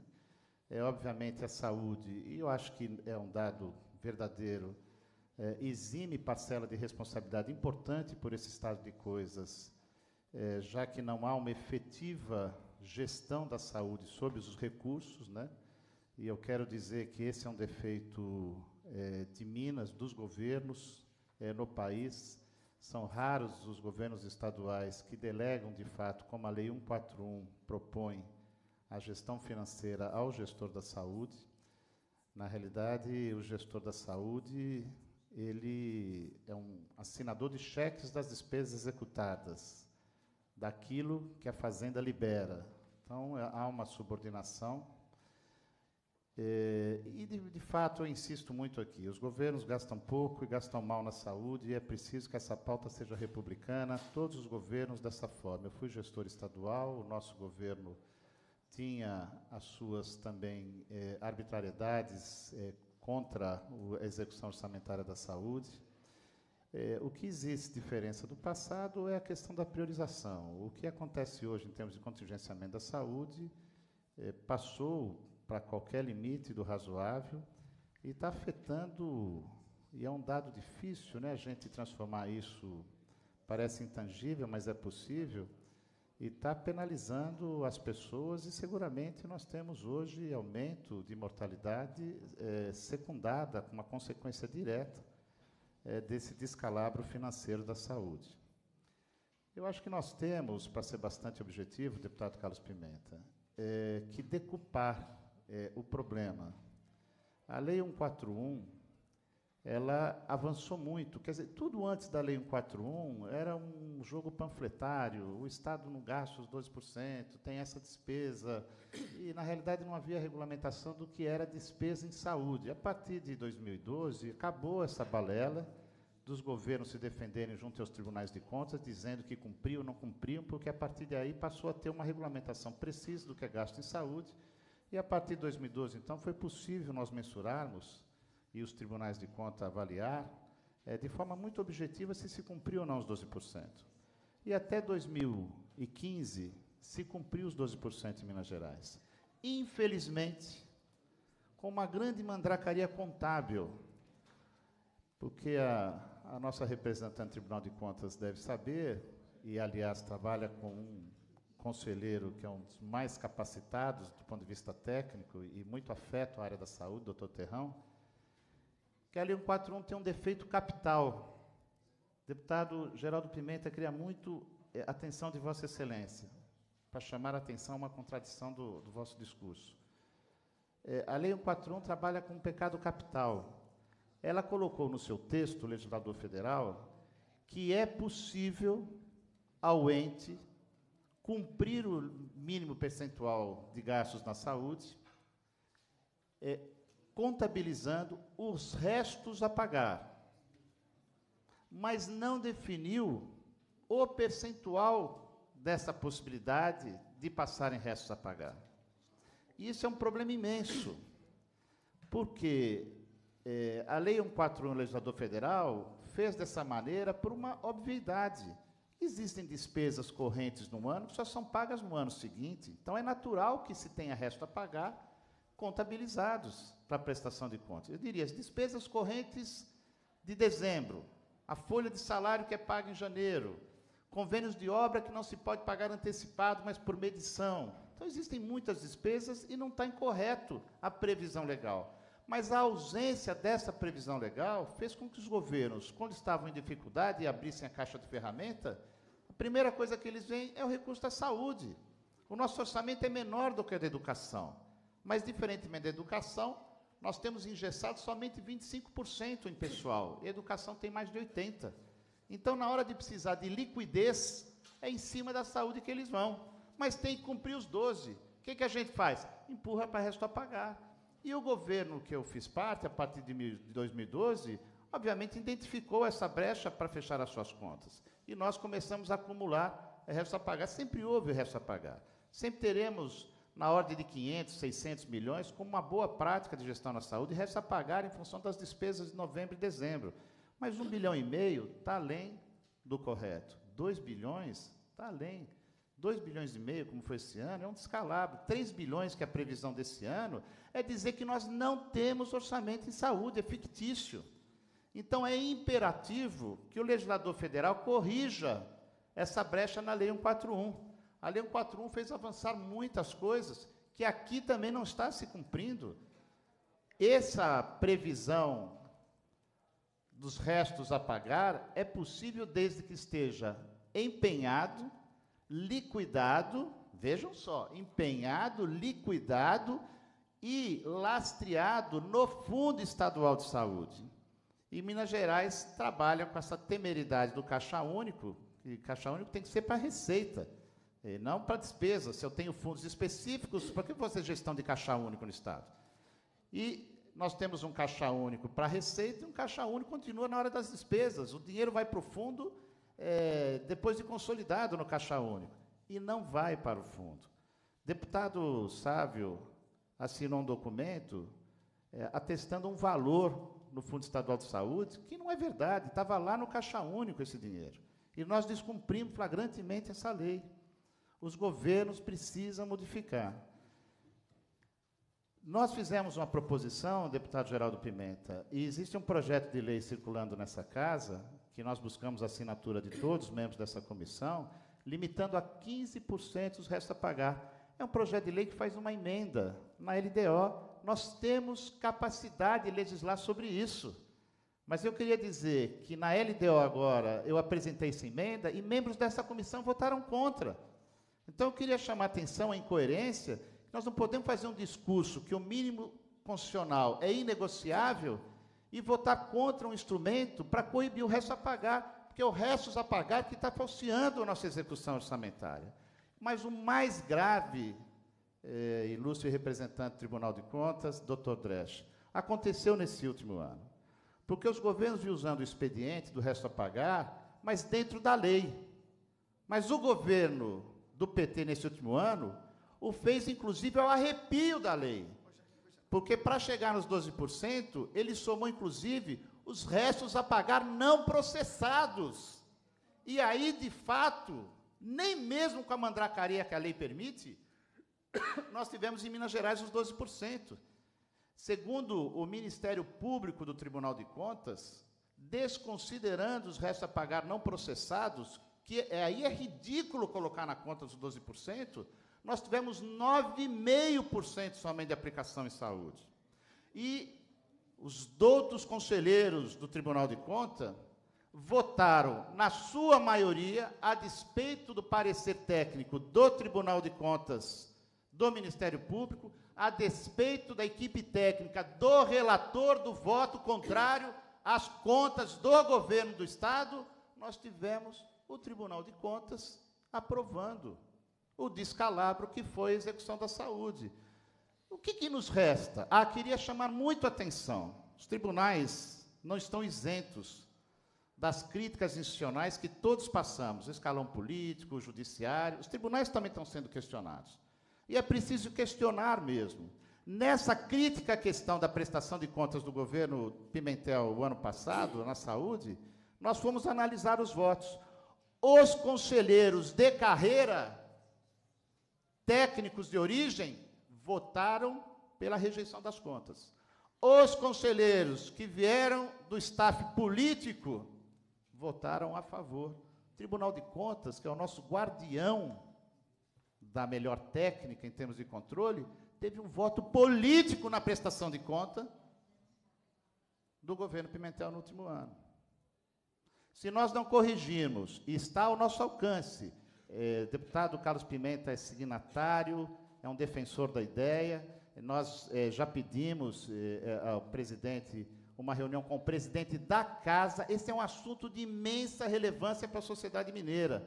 Nós precisamos que essa seja uma agenda da Assembleia de Minas, do povo de Minas. Nós precisamos de uma lei em Minas Gerais para corrigir aquilo que nós podemos legislar de forma complementar em relação à Lei 141, para dizer, olha, em Minas resta pagar. Primeiro, tem que ser consolidado, já vou encerrar, deputado Pimenta. Tem que ser liquidado. E segunda questão, tem que ter um limite. Senão os governos vão continuar usando, diante das crises, o expediente de usar a saúde para financiar os seus déficits.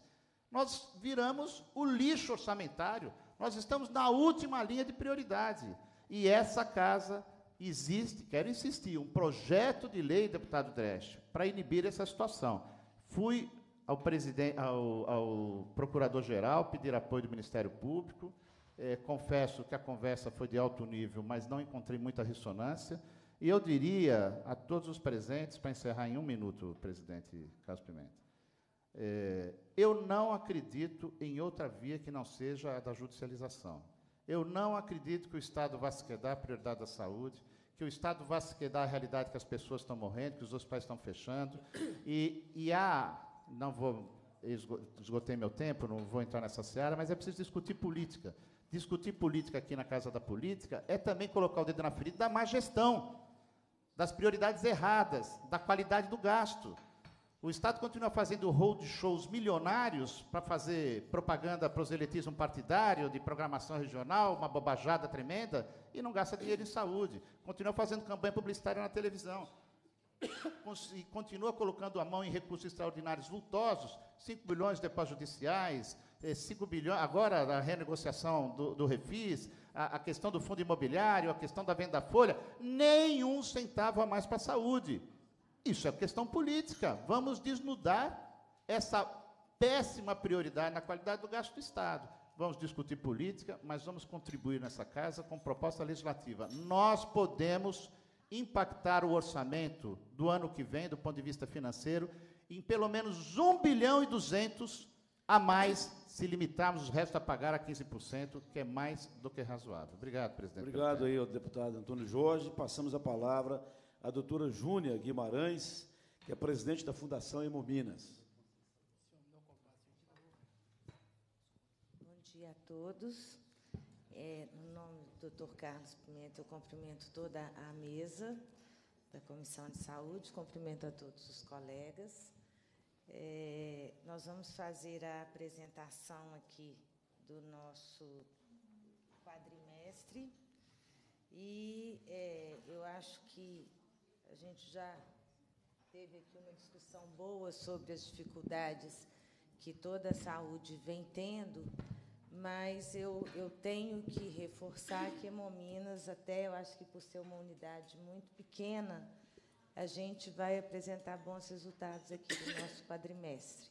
A gente tem uma equipe de profissionais que tem, mesmo com uma redução do número de pessoas, que é a dificuldade que a gente vem tendo, nós estamos tendo muita dificuldade com a, a recomposição do nosso quadro e reposição de profissionais de saúde, mas a gente tem, e aí eu queria reforçar um agradecimento a todos os servidores de Hemominas que conseguiram, com o trabalho, é, evidenciar a nossa boa é, resolubilidade que a gente teve nesse período.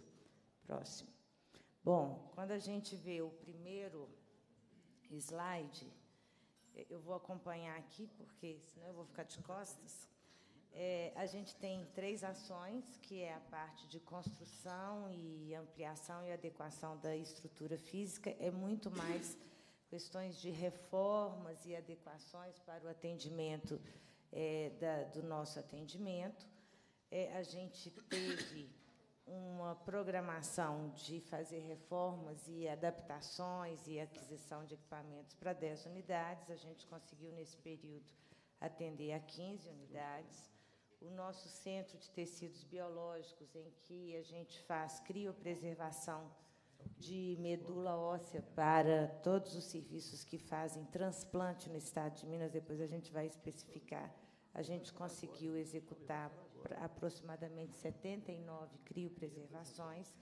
E no programa de sangue e hemoderivados a gente conseguiu atender no, nesse primeiro quadrimestre é, uma quantidade boa de doadores, e aqui a gente tem também que reforçar o agradecimento à população, que, mesmo com uma demora um pouco maior no nosso processo de doação, eles têm comparecido, e com isso a gente conseguiu produzir dentro do estabelecido aproximadamente 270 mil hemocomponentes para atender o Estado. É, dentro da ação de construção, a gente foi descrevendo as nossas ações, mas vocês vão ver que são ações de manutenção para garantia do atendimento, com a garantia dos testes. A gente tem muita preocupação com a água, é, que a gente tem que fazer os testes laboratoriais, que isso tem um impacto, além da, do atendimento é, muito grande à população, então a gente tem que ter uma água com potabilidade. Então, tratamento e cuidado com as caixas d'água. No caso do CTBio, a gente também, por ser uma área ambiental, tem que ter licença, e com isso a gente vai fazendo o acompanhamento, que foram entregas que a gente teve nesse primeiro quadrimestre. É, no Hemocentro próximo, no Hemocentro de Valadares, nós tivemos adequação elétrica, nós precisamos de, de equipamentos de ar-condicionado muito potentes, a gente precisa de manter os nossos ambientes muito refrigerados, então isso, essa manutenção, apesar de parecer uma coisa simples, no nosso caso, ela tem um impacto muito grande porque ajuda na manutenção da qualidade dos hemocomponentes e também na vida útil dos nossos é, equipamentos de, de preservação desses produtos e adequação da sala de transfusão em Sete Lagoas, onde os pacientes recebem transfusão ambulatorial. Próximo. É, em relação a equipamentos, vocês podem observar que a gente conseguiu é, uma melhora, está bem pequeno, mas a gente é, está implantando é, sistemas de informação com uma informatização completa das nossas unidades. Então, a gente precisa de servidores de rede, equipamentos, então, a gente conseguiu é, adquirir mais de, de 100 computadores para as nossas unidades, sem contar com equipamentos do Parque Tecnológico para todas as unidades, em laboratórios, é, serviços de processamento do hemocomponente, contadores de célula, poltronas para melhorar a, a, o conforto do nosso doador, que são as poltronas de coletas de sangue. Então, nós tivemos, nesse período, 135 equipamentos distribuídos e a gente sempre adquire e distribui isso para todas as unidades da nossa rede. Próximo, as dificuldades que nós tivemos para é, conseguir completar essas ações.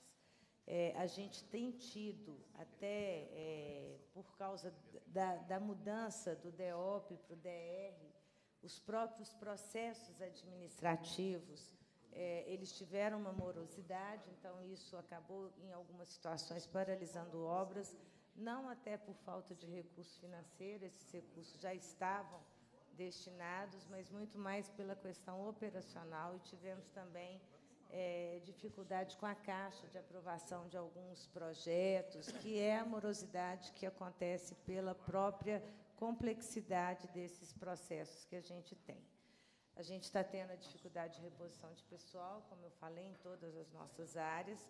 E, é, como a gente tem um parque tecnológico muito especializado, a gente tem tido necessidade de ter uma manutenção predial. Por exemplo, quando a gente adquire uma nova geladeira, por exemplo, para componentes, a gente precisa muitas vezes de mexer até na parte elétrica, porque vem com uma, uma potência maior, tem que avaliar se isso é possível para não trazer problemas para os outros equipamentos. E que vai. Então, a gente tem tentado conseguir, junto à, à COF, inclusive, autorização para que a gente coloque artífices que possam fazer esse acompanhamento para uma situação mais ágil na, na na, nessas ações. É, no desenvolvimento do programa de sangue e hemoderivados, a gente tem as ações que a gente já faz, são ações rotineiras que possibilitam que a gente libere sangue de qualidade.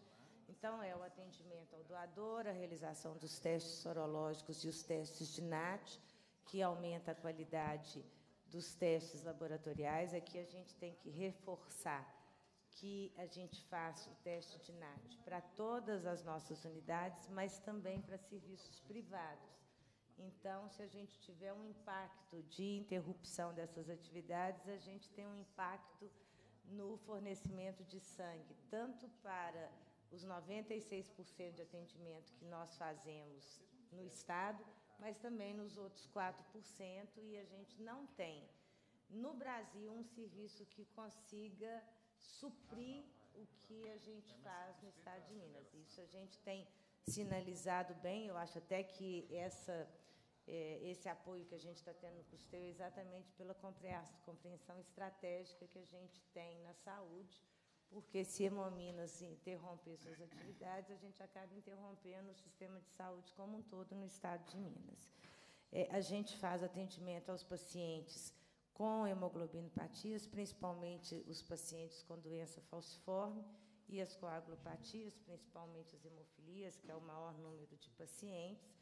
E é, uma das, a gente tem feito esse atendimento, apesar de algumas dificuldades, os pacientes terem tido dificuldade de agendar as suas consultas nos prazos específicos, apesar da gente ter uma relação muito boa com a associação de pacientes e tentar contornar dentro das nossas possibilidades para que essas pessoas não fiquem sem o atendimento. É, a gente também faz programas de hemovigilância com acompanhamento dos hospitais que recebem os nossos hemocomponentes, e isso, o nosso programa de hemovigilância é exemplo para o país todo, e não só para o país, para outros serviços da América Latina além do atendimento que a gente faz do, do, trabalho e dos projetos de doador do futuro com escolas e com crianças para a gente garantir os futuros doadores. Né? Fazemos coletas externas, temos tido uma, um grande apoio dos municípios com passes, onde a gente também consegue o atendimento dos doadores. Próximo. É, na parte do, do programa do sangue, aí a gente tem o consolidado, nós tivemos nesse período mais de 100 mil candidatos à doação, com produção de 269 mil hemocomponentes, com uma transfusão de 148 mil. Essa diferença sempre acontece porque o plasma que é produzido ele não é muito utilizado para transfusão, apenas em alguns casos específicos de é, emergências onde você tem necessidade de transfusão maciça. E os exames realizados, vocês podem ver que a gente realizou mais de um milhão. Nós não temos, é, no estado de Minas, um laboratório que tenha a capacidade de realização de testes laboratoriais, como a gente tem aqui, são principalmente os testes para a triagem de doadores.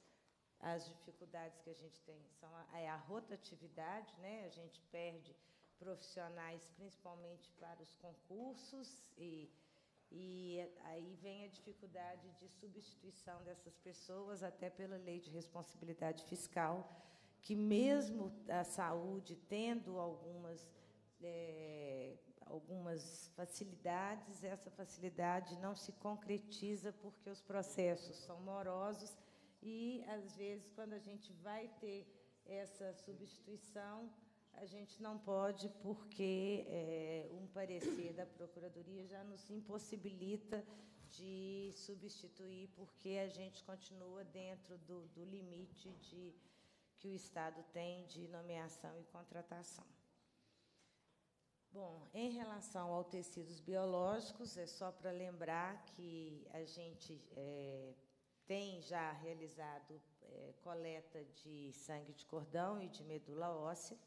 E a criopreservação, nós fazemos a criopreservação de todos os serviços que fazem transplante de medula em Minas Gerais, tanto de serviços públicos quanto privados. Os privados têm uma contratação com repasse, com pagamento desse, dessa criopreservação, e a gente isso devolve para o SUS, então é tudo feito de uma forma para beneficiar o Sistema Único de Saúde. E com esses serviços, vocês podem observar próximo, que a gente teve em 2015 um número maior de validação no sangue de cordão, porque um número maior de coleta e de, de processamento, que nós estávamos no processo de validação é, dessa criopreservação. Em 2017, no Banco de Sangue de Cordão, nós já coletamos 41, com 16 processados, porque depois que a gente coleta, a gente tem que identificar se esse material está adequado para processamento, para evitar custo desnecessário. E já temos 15 bolsas CRIO preservadas. Essas bolsas é, são é, cadastradas no, no sistema de, de receptores de medula, porque aí, se tiver algum receptor, a gente consegue já fornecer. E em relação ao banco de medula óssea, no ano de 2017, nós já atendemos a 39 pacientes que se beneficiaram com a criopreservação e, e criopreservamos 79 bolsas. E essa redução em relação ao, ao esperado é pela demanda dos hospitais. A gente só criopreserva aquilo que é encaminhado e demandado. Era isso que eu queria falar para vocês. Queria agradecer e queria dar uma notícia que, é, com todas essas dificuldades pessoal, nós conseguimos é, atender uma demanda de São Paulo, um paciente que tinha um fenótipo muito raro.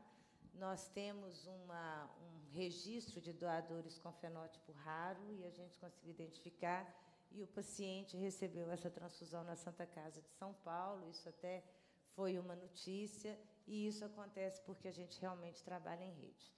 Muito obrigada. Muito obrigado, aí, a doutora Júnia, pela exposição clara, muito importante para a gente, esclarecedora.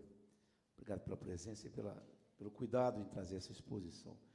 É, nós vamos ouvir o, o, o conselheiro, o senhor José Pereira de Souza, que é o relator da Câmara Técnica de Orçamento e, Finan e, e Financiamento do Conselho Estadual de Saúde, mas, só, mas antes, José, nós queremos, nós temos aqui representantes da Comissão dos Aprovados da Secretaria de Estado da Saúde, que já vem há algum tempo, há mais de dois anos, lutando pela nomeação dos aprovados no concurso que foi feito em 2014. E temos aqui duas, dois questionamentos. É, o primeiro deles, dizendo que a Secretaria de Estado da Saúde alega a lei de responsabilidade fiscal e, por isso mesmo, não pode fazer a nomeação dos aprovados. Absurdo. Porque para que, que se faz concurso se não pode nomear? Essa sempre defendemos e nos colocamos a, ao lado dos aprovados. Mas queremos também dizer que no dia 31 de outubro, essa comissão vai fazer uma, uma grande audiência pública com os aprovados, com representantes da secretaria. 31 de outubro, 10 horas da manhã, vai dar uma terça-feira. E a gente vai, mais uma vez, querer aqui a presença de, da grande maioria dos aprovados. Não, nós estamos falando de centenas de aprovados, e a gente vai manifestar, a comissão vai manifestar mais uma vez a sua posição é, em favor do concurso público, em favor dos aprovados, e pedir ao, ao governo do Estado que possa é, abrir um diálogo e que possa apresentar um cronograma de nomeações desses aprovados. Estou com a palavra o senhor José Pereira de Souza, que é conselheiro do, do Conselho Estadual de Saúde. É, bom dia a todos e todas. É, a, nós do, do Conselho Estadual, como o presidente falou, a gente não tem uma, uma postura de, de, hoje de ser branco, não. A gente tem uma postura de, da nossa comissão que foi instalada de, de relatoria da, das câmaras técnicas de orçamento e financiamento, e a, com um aparato técnico que foi instalado nesse período dentro do Conselho, que é exatamente para acompanhar os instrumentos de gestão, né? É claro que nós estamos um pouco atrasados no acompanhamento do dia a dia, porque nós estamos em 2017, nós estamos analisando ainda final de 2015 para 2016. Mas a gente está com um empenho em estar tá acompanhando, ajudando, fiscalizando e apontando os, os erros e os acertos né, de todo o instrumento de gestão e requisitando, evidentemente, ao gestor que a cada dia, a cada momento, seja reparado aquilo de onde que não está sendo atendido ao usuário. Como nós somos um, um, as pessoas que faz, fazemos voluntariamente um trabalho dentro do conselho e para a comunidade, a gente luta a todo instante para que o cidadão receba o melhor serviço possível.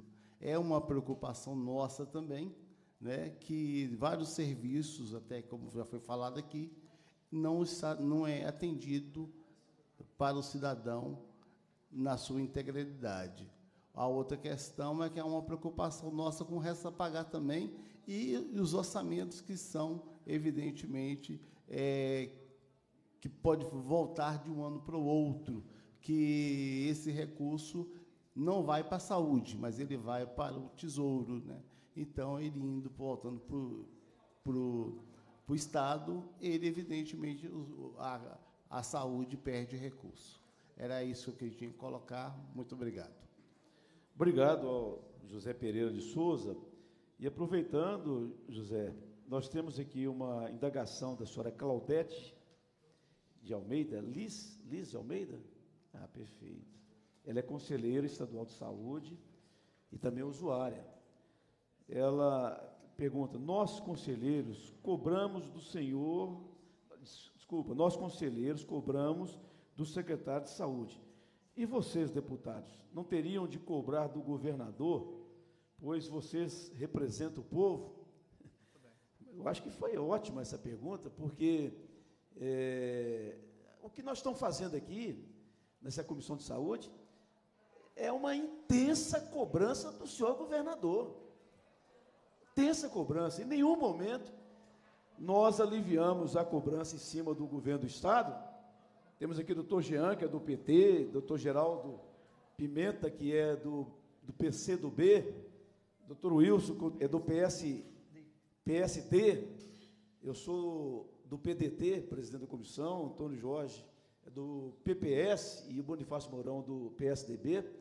Em nenhum momento nós eh, elevamos, ostentamos qualquer bandeira política partidária. Eu, quantas vezes eu vejo o doutor Jean firme na cobrança, né? do governador, de, do, do, secretário, doutor Geraldo. Então, pode ter certeza de que a gente tem chegado a faca no pescoço do governador, para que ele possa, principalmente, designar recursos quando vem esse dinheirão extra que entra do, do governo do Estado, que não estava constando no orçamento, como já disse aí, dos depósitos judiciais, da venda da folha, do IPVA, do, do, do IPVA, é, do fundo imobiliário, é, do refis agora. Nós não aliviamos, não. Agora eu acho que também vocês têm que ajudar a gente a cobrar do governador. Porque cobrar de quem não pode pagar é fácil. Né? Quem está com a caneta na mão não é o sábio, já disse isso.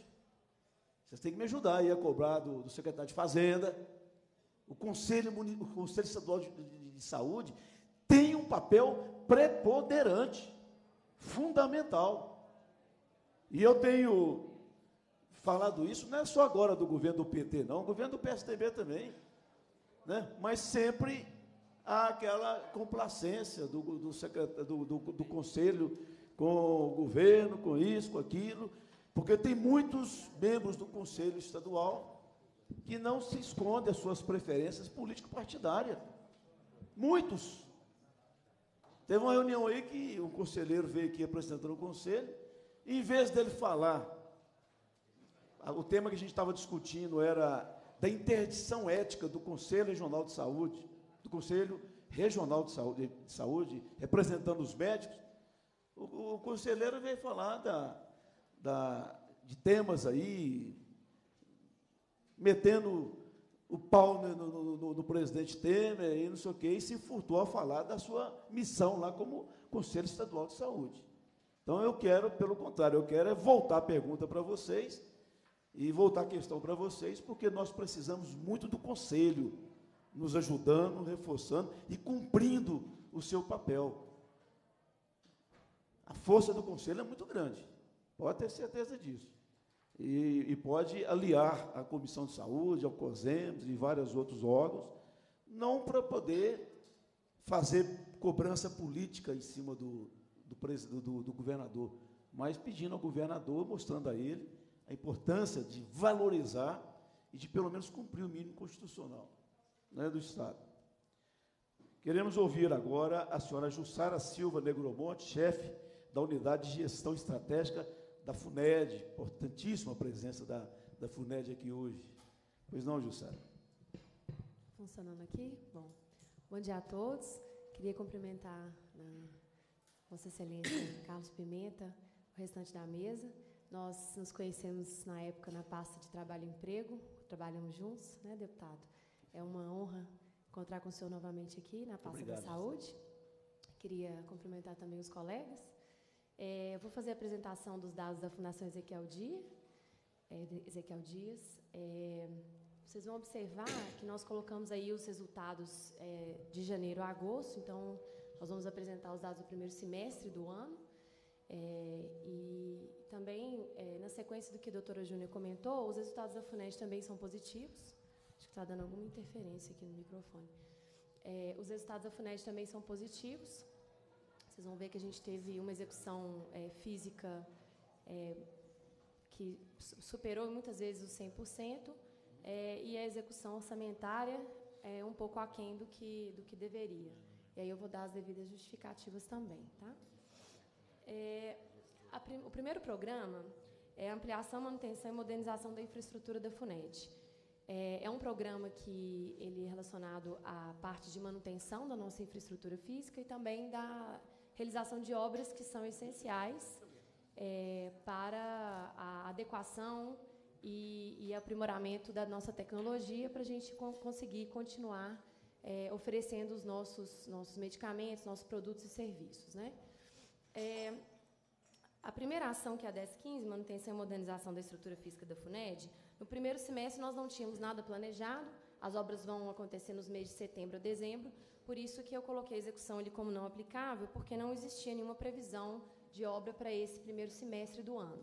Né? Mas agora, no, no, segundo semestre, nós temos a previsão da execução de quatro obras, é, quais sejam a, o Departamento de Controle da Qualidade, o DCQ, é, um novo almoxerifado industrial, a unidade 5, que é a unidade é, responsável pela, pela produção dos produtos biológicos da FUNED, da nossa transferência de tecnologia da vacina meningococcus C, e a reforma da fábrica de soros, que atualmente está parada em decorrência da, da necessidade de algumas adequações que foram requeridas pela Vigilância Sanitária.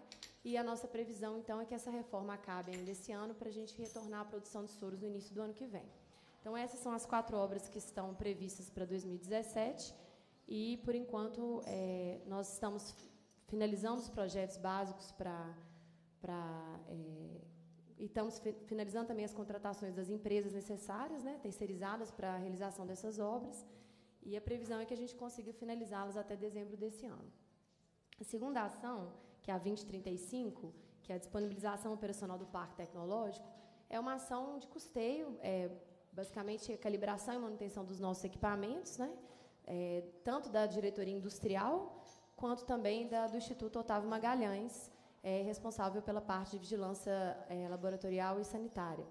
Então, é uma ação aí que a gente tem uma execução é, de 100%, ou seja, pra, praticamente é, até superou aqui né, o, o, percentual físico foi 117%, ou seja, toda a FUNED hoje, em termos de manutenção do parque tecnológico industrial, está apta ao funcionamento. Então, o que nós temos de maquinário, de, de estruturas físicas, industriais, hoje estão sendo mantidos em 100% aptos para é, a, as nossas necessidades. Né? Passa para mim, por favor. É, o programa 075 é o desenvolvimento e produção de medicamentos para o SUS. Né? Atualmente, nós temos duas ações dentro desse programa. A primeira, que é a 4173, que é a produção de vacinas, soros e produtos biológicos. Né? É, o, o programado para o período, é, em relação aos contratos que nós temos com o Ministério da Saúde, porque tanto a produção de soros quanto de vacinas, é, ela atende aos contratos com o Ministério da Saúde e a distribuição é feita para todos os estados da federação. Né? É, o contrato que nós temos hoje com o Ministério para execução em 2017, ele compreende o valor total de 11 milhões e 900 mil doses da vacina meningococcus C. Para o período, nós tínhamos a, a, a programada produção de 6 milhões, 6 milhões e 500 mil, né, mais ou menos, e produzimos 4 milhões e 768 é, mil unidades, é, com desempenho físico de 73%. Por que, que esse desempenho foi aquém do planejado? Em decorrência de atrasos da GlaxoSmithKline, a GSK, que é a nossa parceira da transferência de tecnologia. Então, ela, é, nós estamos aí com uma, uma transferência prevista aí até 2024. Então, a gente vai incorporando a tecnologia da GSK aos poucos, para ao final desse processo termos a condição de produzir to totalmente a vacina dentro da FUNED. Né? É, e, e, aí, o que, que aconteceu? A GSK teve alguns problemas internos, atrasou as entregas da, das ampolas e, do, e, dos componentes da vacina para a FUNED, o que fez com que a gente é, não conseguisse entregar o planejado nesse primeiro semestre. Mas esse planejado foi repactuado para o segundo semestre e nós vamos cumprir a meta até o final do ano, com é, novas entregas previstas para o Ministério ao longo aí do segundo semestre. É, a ação 4430, é, aí só voltando, né, na 4173, nós temos prevista a produção de soros e vacinas, mas para esse ano especificamente, essa ação contempla o quantitativo físico somente de vacinas, porque, como eu já mencionei, a, a fábrica de soros está atualmente é, sendo é, reformada, né? É, mas é importante destacar que a produção de soros ela não foi prejudicada. Né? Atualmente, a produção de soros, que era da FUNED, ela foi repassada ao Instituto Butantan e a Fiocruz, que estão suprindo a demanda nacional em relação a, aos soros. Então, a, a, a, população não ficou desabastecida por causa dessa parada na FUNED. Foi uma parada planejada né, e, e que não acarretou em um desabastecimento dos soros para a população. É, a ação 4430, que é a produção de medicamentos para o componente básico e estratégico da assistência farmacêutica, é uma ação ampla, né, que ela contempla a produção é, de qualquer tipo de medicamento básico e estratégico que venha a ser interesse tanto da Secretaria Estadual de Saúde quanto do SUS. Então, a, a ação ela tem um escopo amplo exatamente para contemplar aquilo que for demandado. Agora, atualmente, essa ação contempla a produção é, de dois medicamentos, que é o tenofovir e a talidomida. Então, é, esse executado físico aí de 6.722.820 unidades diz respeito à produção de talidomida e tenofovir nesse primeiro semestre do ano. Né, inclusive superando o que nós tínhamos é, planejado, devido à antecipação de entrega por parte do Ministério, que foi requerida por parte do Ministério, do medicamento talidomida. Hoje a FUNED é a única produtora desse medicamento no território nacional, então muitas vezes o Ministério requer algum tipo de antecipação e a FUNED sempre faz o possível para cumprir, sabendo que somos o único produtor. Né? Então, a gente superou aí o, o planejado para o, para o semestre devido a essa antecipação de contrato. É, o programa 0030 é, é, o programa da vigilância laboratorial em saúde pública. Né? Então, nós temos aí na FUNED é, três negócios, né? a pesquisa, é, o, a parte de produção industrial, que é o programa que eu acabei de relatar, e o programa de vigilância laboratorial em saúde pública, que diz respeito a esse negócio da saúde é, da FUNED, que é a execução é, de exames para vigilância laboratorial e saúde do trabalhador. Nós temos duas ações contempladas nesse programa. A primeira ação é a 4054, que é o atendimento das demandas espontâneas e pactuadas de análises laboratoriais e de interesse de saúde pública. Né? É, nós temos aí é, uma programação de 272.183 exames e ensaios de vigilância laboratorial, é, e o executado foi acima é, do planejado. Foi, nós executamos 313.811 exames e ensaios. Esse, essa execução maior ela está é, relacionada a alguns surtos epidemiológicos que acontecem né, e que a FUNED atende, e também a retomada dos exames de HIV é, e tuberculose, que foram retomados de acordo também com, com os kits que são enviados do Ministério da Saúde para a gente. Então, por causa desse, desses surtos e também da retomada de alguns exames específicos, a FUNED é, cumpriu mais do que o planejado para o semestre.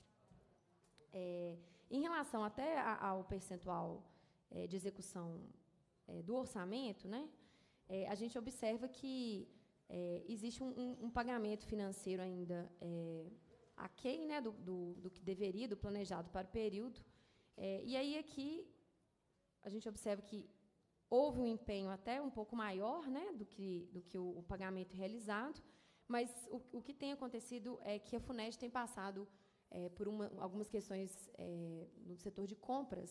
Então, como o número de itens que a FUNED tem que comprar, é, tendo em vista as especificidades dos exames que a gente tem que fazer é muito grande, muitas vezes o nosso setor de compras não consegue dar conta mesmo desse volume é, é, de compras que são necessárias. Né? E aí, a gente, eu não vou entrar nesse mérito, mas existe uma série de discussões a respeito até da 8666 das, e da burocracia mesmo de compra do Estado, né? E a gente tem tentado algumas soluções para isso, como é, é, aderir a alguns registros de preços da própria CEPLAG, né? E, e também é, buscar aí é, otimizar os nossos processos internos para conseguir cumprir com essas demandas, mas a gente observa que ainda existe, ah, existe algum, um certo desabastecimento de alguns insumos que são necessários para a gente realizar esses ensaios e, e exames, né? Então, inclusive, esse, esse número aqui, 313.811 é, ensaios, apesar de superar fisicamente o que a gente planejava, é um número que, que é, ele mascara um pouco os reais resultados, porque, na verdade, muitas vezes a gente não consegue entregar protocolos completos é, para a população. O que é um protocolo completo? É um protocolo que contém o número necessário de exames para um, um resultado mais fidedigno em frente às necessidades é, é, de de análise de determinada doença, enfim. Então, é algo que a FUNED tem se empenhado bastante, é melhorar essa questão do abastecimento para a gente conseguir é, cumprir com todas as demandas de reagentes e insumos que são necessários para, a realização dos protocolos completos de análises clínicas, né? e não somente um número é, físico desses exames. Né?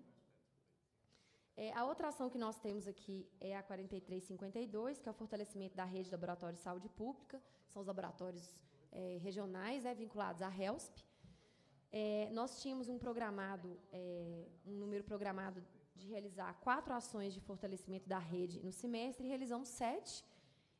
Essas, essas ações são capacitações, todo tipo de atendimento também da parte tecnológica, calibração de equipamentos, é, envio de kits para realização dos exames. Então, realmente é suprir essa rede com tudo que ela precisa para é, cumprir com o seu papel de laboratório regional. E essa ação também ela, ela é, está aí bastante satisfatória. Você pode passar, por favor? É, e aí nós vamos para o último programa da FUNED, que é o programa 0131, que é o de inovação científica e tecnológica, que diz respeito ao nosso negócio da pesquisa, né? É, e nós temos três ações dentro desse programa. Nós temos uma ação não orçamentária, que é a 5007, que diz respeito à consolidação da FUNED como Instituto de Ciência e Tecnologia, que é adequar a FUNED às diretrizes da Lei de Inovação. Né? É, e aí, para isso, a gente faz uma série de parcerias e, e, e, termos de parceria, tanto com instituições públicas e privadas, para é, fazer com que a FUNED consiga se consolidar mesmo como Instituto de Ciência e Tecnologia e Inovação. Nós tínhamos programado para esse semestre a execução de três termos de parceria e, fomos, e executamos seis. É, e aí, muitas vezes, esse número passa do programado, porque muitas vezes nós somos demandados por outros institutos, como a própria UFMG, é, Fiocruz e outros institutos de pesquisa, para fazermos termos de parceria. E aí, sempre pensando bem aí da, do cumprimento né, do, do, do nosso, é, do nosso mote, da nossa existência aí como como no setor, no setor de saúde, né, a gente sempre aceita é, fazer esses termos quando eles vêm ao encontro do interesse público. Então, por isso que superou aí em, em 200% né, o que tínhamos é, planejado para esse semestre. Temos também a ação de pesquisa e desenvolvimento, que é a 4317, que basicamente é a manutenção dos projetos de pesquisa que nós temos na instituição. É, Estamos conseguindo cumprir com essa meta, então, atualmente mantemos 31 projetos de pesquisa vigentes na instituição. É, e aí, esses projetos têm diversos temas, tanto de pesquisa aplicada para nos ajudar né, dentro própria, dos próprios negócios da FUNED e também para interesses do SUS, né, de forma ampla.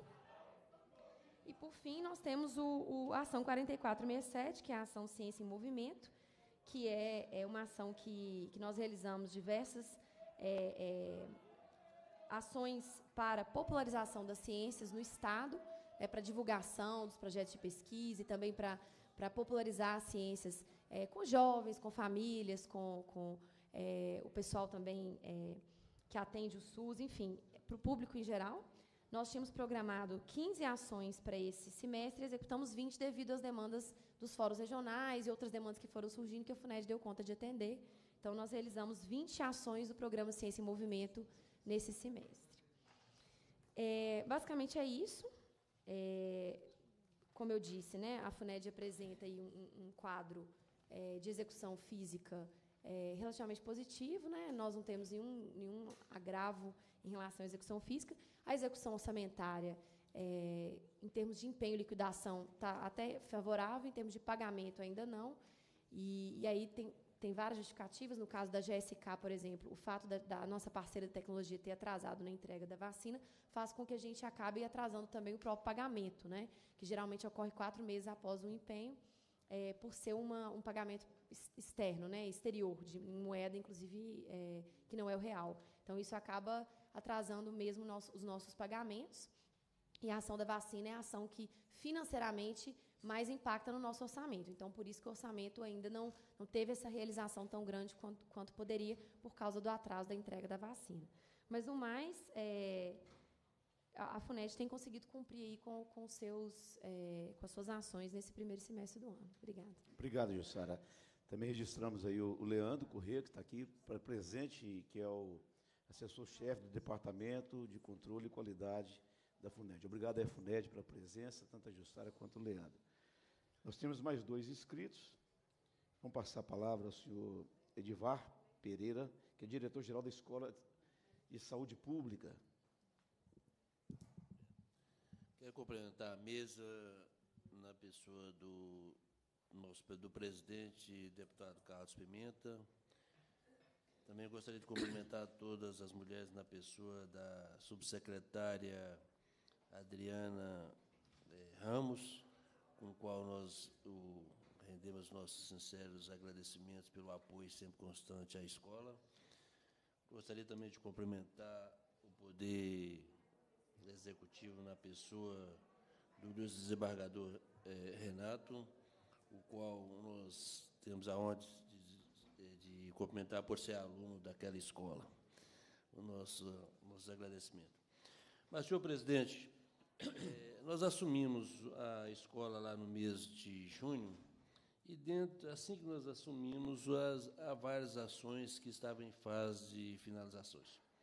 Dentre elas, nós podemos, poderíamos citarmos o direito sanitário, que está se encerrando agora, e, e chegando à escola, nós temos um, um, nós temos um corpo docente muito qualificado e reunimos, reunimos com esse corpo docente e, e discutimos que realmente precisava dar um, uma, uma guindada maior na escola, uma, uma oxigenação maior na escola. E dentro dessa oxigenação, nós discutimos e oferecemos é, vários cursos é, onde há a participação efetiva corpo, do corpo docente. Entre eles, abrimos uma vaga, vaga de 600 cursos e houve uma, uma demanda de mais de 2 mil inscrições. Isso para nós foi um, ponto muito positivo, que foi a primeira iniciativa da escola. É, a escola trabalha com várias parcerias. Nós podemos citar também a parceria que nós fizemos recente com a FUNED, Ciência e Movimento, né? onde faz parte a escola, a FUNED e a FUCAM, e onde há um resultado muito positivo. Podemos citar também com a Emel Minas, que estão existindo uma parceria constante, é, iniciamos agora o curso de conselheiros, que encerrou a primeira turma, já existe uma outra turma que está em andamento.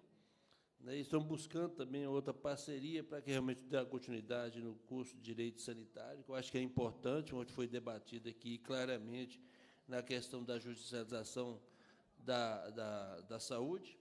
E isso é um assunto que deve ser encarado de frente e a escola tem proporcionado alguns cursos que eu acho que faz, é importante para realmente dessa discussão.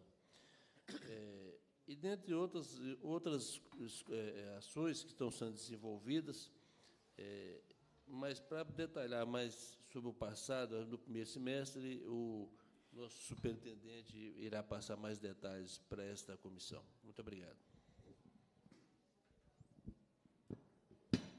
Bom dia a todos.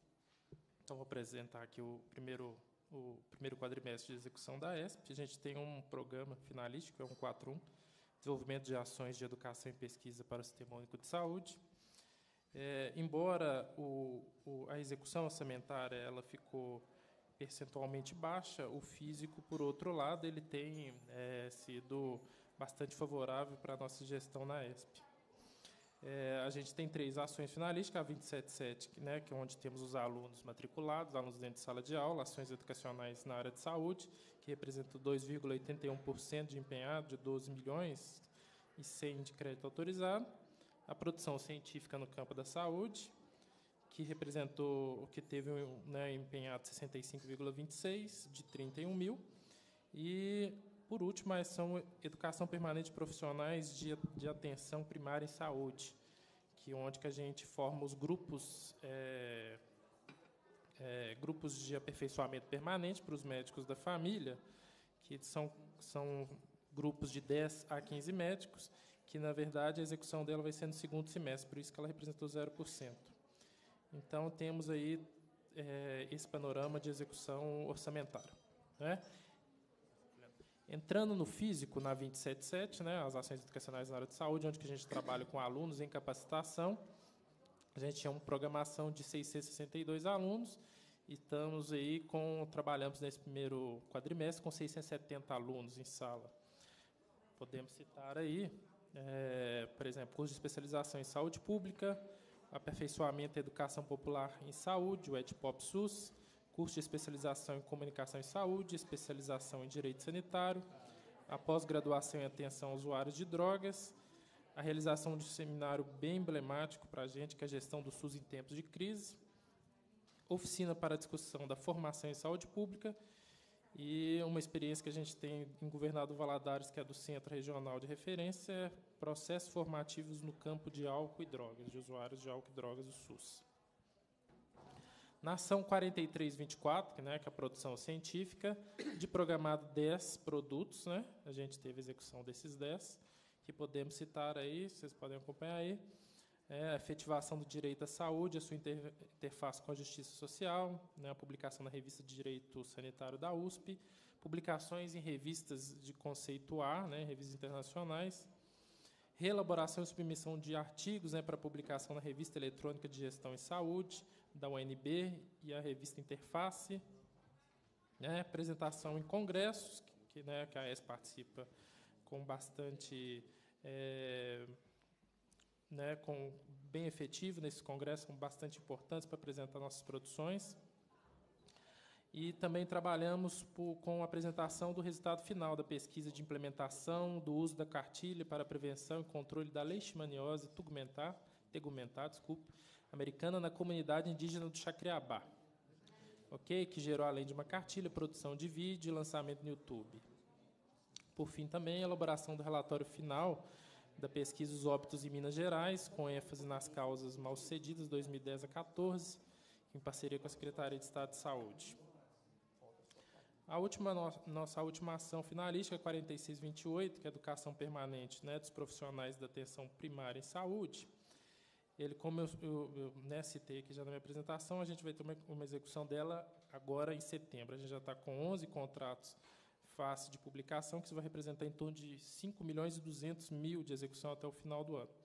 Então, pretendemos formar aí 183 grupos de, de aperfeiçoamento profissional com os médicos da família, né, que cada grupo de 10 a 15 médicos, de um total de 250 que temos previsto até 2019.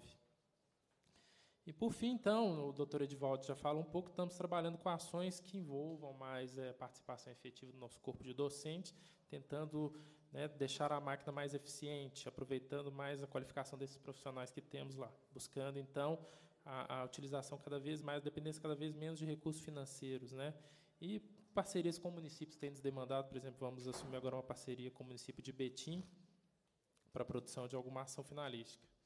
É, do, a ESP teve, né, pela primeira vez, um lançamento de cursos livres em parceria de cursos da área de saúde pública junto com planejamento e gestão para o SUS. É a primeira vez que a ESP qualifica gestores em área meio, é, gestão, fiscalização de contratos, aperfeiçoamento de pregoeiros, né, para o SUS temos interessados 2.200 alunos, sendo ofertadas 600 vagas, já estamos com 400 alunos matriculados. Estamos trabalhando também nesse, nesse segundo semestre com a qualificação dos conselheiros e conselheiros municipais em saúde, 1.400 ofertas de, de vagas. Né? É, estamos fechando agora em outubro as oficinas de vigilância e promoção à saúde em áreas da reforma agrária, onde que, é, que são capacitados é, integrantes do movimento né, sem terra.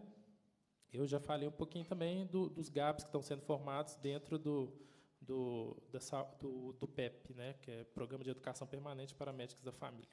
Então, é isso que a gente tinha que apresentar. Obrigado à mesa pelo, pela oportunidade. Nós agradecemos aí o Edivar e o Gustavo pela exposição aí da, da, da, da, da Escola de Saúde Pública de Minas Gerais. E por fim, nós passamos a palavra à senhora Karina Nicole, que é assessora da Diretoria de Planejamento e Gestão da FEMIG. Bom dia a todos. Eu quero agradecer a.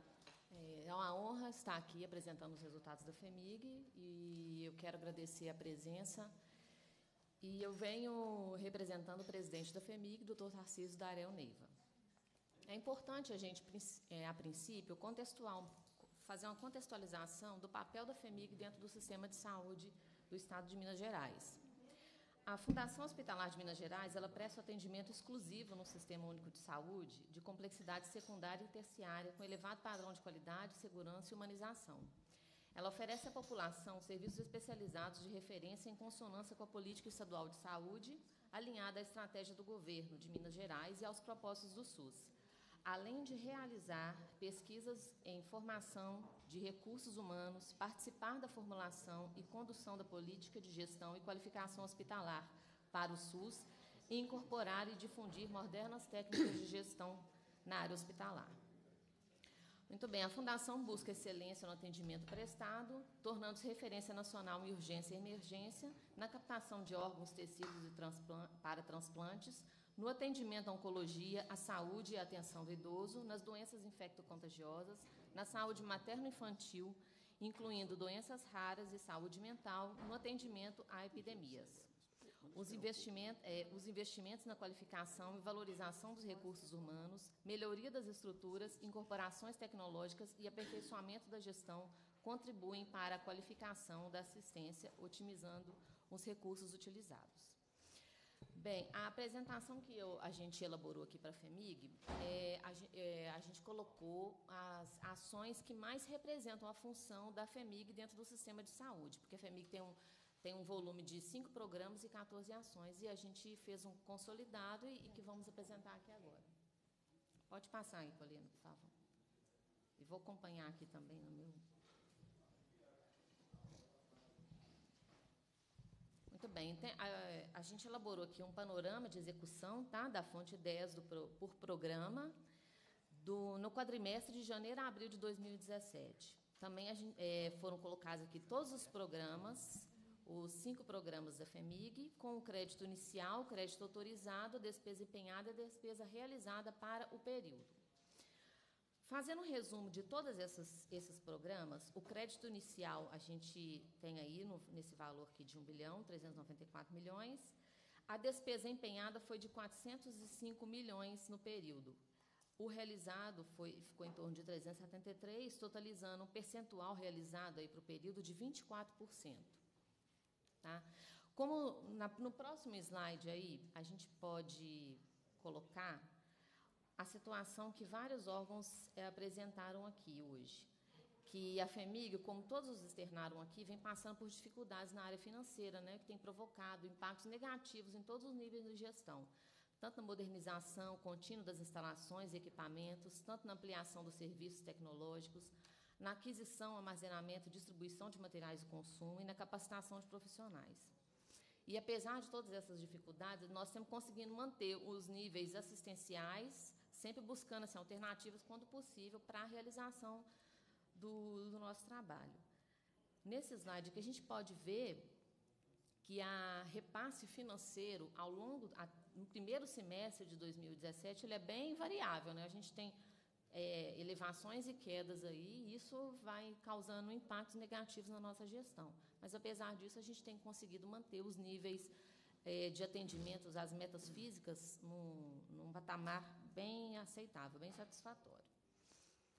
Agora, voltando aí para um programa bem representativo da FEMIG, que é o de assistência hospitalar especializada, que a gente tem ah, várias ações aí dentro dessa, desse programa, é, a gente pode observar, né, como eu havia falado, que as metas físicas elas, elas têm sendo cumpridas assim, em, em quase a sua totalidade. Né? Por exemplo, no complexo de saúde mental, nós temos a meta física aí, que a gente tinha de 34.426 pacientes atendidos, atendemos no período 33.136, cumprindo 90%, 91% quase da meta pactuada para o período e, a, e com 24% do, de percentual aí de pagamento no caso financeiro. O complexo de reabilitação e cuidado ao paciente com ênfase no idoso também cumprimos é, em torno de 96% da meta física, com atendimento de 34.835 pacientes atendidos, é a meta, e o executado em torno de 33.750. O complexo de urgência e emergência, a gente colocou algumas características aqui que é importante ressaltar de algumas unidades aqui da, que compõem a Fundação Hospitalar. O complexo de urgência e emergência tem a finalidade de prestar assistência ambulatorial, hospitalar integral aos usuários do SUS em situações de urgência e emergência, visando a recuperação da saúde, diminuição da mortalidade e redução das complicações decorrentes. Dentro desse complexo faz parte o Hospital João 23, o Hospital Maria Amélia Lins, o Hospital Infantil João Paulo II, o Hospital Cristiano Machado, Unidade Ortopédica Galva Veloso. Nesse complexo, é, tivemos um volume de 77.442 internações, 64.023 consultas e 350.452 exames complementares. tínhamos a meta de 125.716 pacientes atendidos e no período é, a gente nós atendemos 125, 117 mil, é, atingindo um percentual de 100%. E nessa, nesse o cumprimento da meta financeira e o pago em relação ao crédito autorizado ficou em volta de 5,16%. Né? É aquela justificativa que a gente tinha falado, né? das dificuldades financeiras que acabam trazendo impacto aí no, nosso, no, no, no pagamento dos fornecedores. É, só voltando aqui, no complexo de especialidades, a gente também teve um atendimento é, bem, é, satisfatório, um percentual físico também de 96,87% de pacientes atendidos. Foram uma pactuação de 70.778 pacientes e atendemos 68.563. Complexo Hospitais Gerais. Nós temos aí uma é, uma, um volume de internações de 7.587 pacientes, consultas 52.825 e exames complementares 377.569. Também cumprindo uma meta de, quase batemos a meta toda do período, mas, mas é, ficou em torno de 97,85%. Em relação ao complexo MG Transplantes, o Complexo MG Transplantes ele tem a finalidade de coordenar as atividades de transplantes no âmbito do Estado, promovendo estratégias de campanhas com o objetivo de aumentar a captação, distribuição e transplante de órgãos. Aí na, no MG Transplantes, nós tivemos um pagamento de financeiro de 7,92%, também é, reduzido igual nos outros, nos outros complexos. Ah, teve, tivemos uma meta física de 775 órgãos captados atingimos um percentual de 80%, com uma execução física né, de 626 órgãos captados. Essa, em relação a esse percentual físico de execução, existe uma, uma, uma, uma um projeto né, dentro do, do MG Transplante de da gente poder otimizar esse, esse percentual. Isso, isso seria atingido com campanhas de conscientização, visitas aos potenciais doadores, aos hospitais potenciais doadores, cursos de capacitação para os profissionais da área de saúde envolvidos na doação e captação de órgãos e reestruturação do sistema estadual com a implantação da organização da procura de órgãos, um sistema que ajuda a, a, a melhorar e aumentar esse percentual, é, no caso do MG Transplantes. Viemos também apresentando para vocês uma outra ação que ela é bem representativa da FEMIG, que é a ação de residência médica. A ação de residência médica, ela... Ah, desculpe, só um minutinho. A ação de residência médica ela tem o objetivo de formar médicos especialistas em 35, é, em 35 programas que hoje a FEMIG possui ela tem uma, um objetivo também de melhorar o atendimento, né, visando uma, re, uma renovação constante do corpo clínico especializado, expandir o desenvolvimento do conhecimento científico com, apli, com aplicabilidade no campo da assistência, aumentando a efetividade nos atendimentos oferecidos aos pacientes do Sistema Único de Saúde. Dentro dessa ação aí, a gente tem esse percentual aí de, como eu havia falado, de 430 é, vagas, é, é, vagas disponibilizadas para a formação dos médicos residentes, e a gente teve um executado físico no período de 440. O físico também ficou, atingimos um percentual de 161%. Essas vagas disponibilizadas de residência médica, elas, elas não são em todas as unidades da FEMIG, não. Elas estão concentradas em Belo Horizonte, no, no CEPAI, no Instituto Raul Soares, no Hospital Júlia Kubitschek, Eduardo de Menezes, Alberto Cavalcante, Maternidade Odete Valadares, João 23, Hospital Maria Amélia Lins e Hospital Infantil Paulo II. Em Sabará, no Hospital Cristiano Machado, é, em Barbacena, no, Centro Hospitalar Psiquiátrico de Barbacena e no Hospital Regional de Barbacena, em Patos de Minas, no Hospital Regional Antônio Dias e em Juiz de Fora, no Hospital Regional de João Penedo. Por fim, a gente tem aqui a, o, uma ação que é de desenvolvimento e capacitação do servidor. Essa ação ela tem o objetivo de coordenar, implementar e avaliar e avaliar as ações de planejamento, gestão e finanças, executando os serviços de apoio e suporte técnico administrativos necessários ao cumprimento das atribuições institucionais. Então, como eu havia falado, essa ação ela tem, ela é para é, capacitar os servidores em diversas áreas do conhecimento, não só assistencial, mas também nos processos administrativos. Por quê? É, consequentemente, a melhoria dos processos traz uma melhoria no, no atendimento aos pacientes do SUS.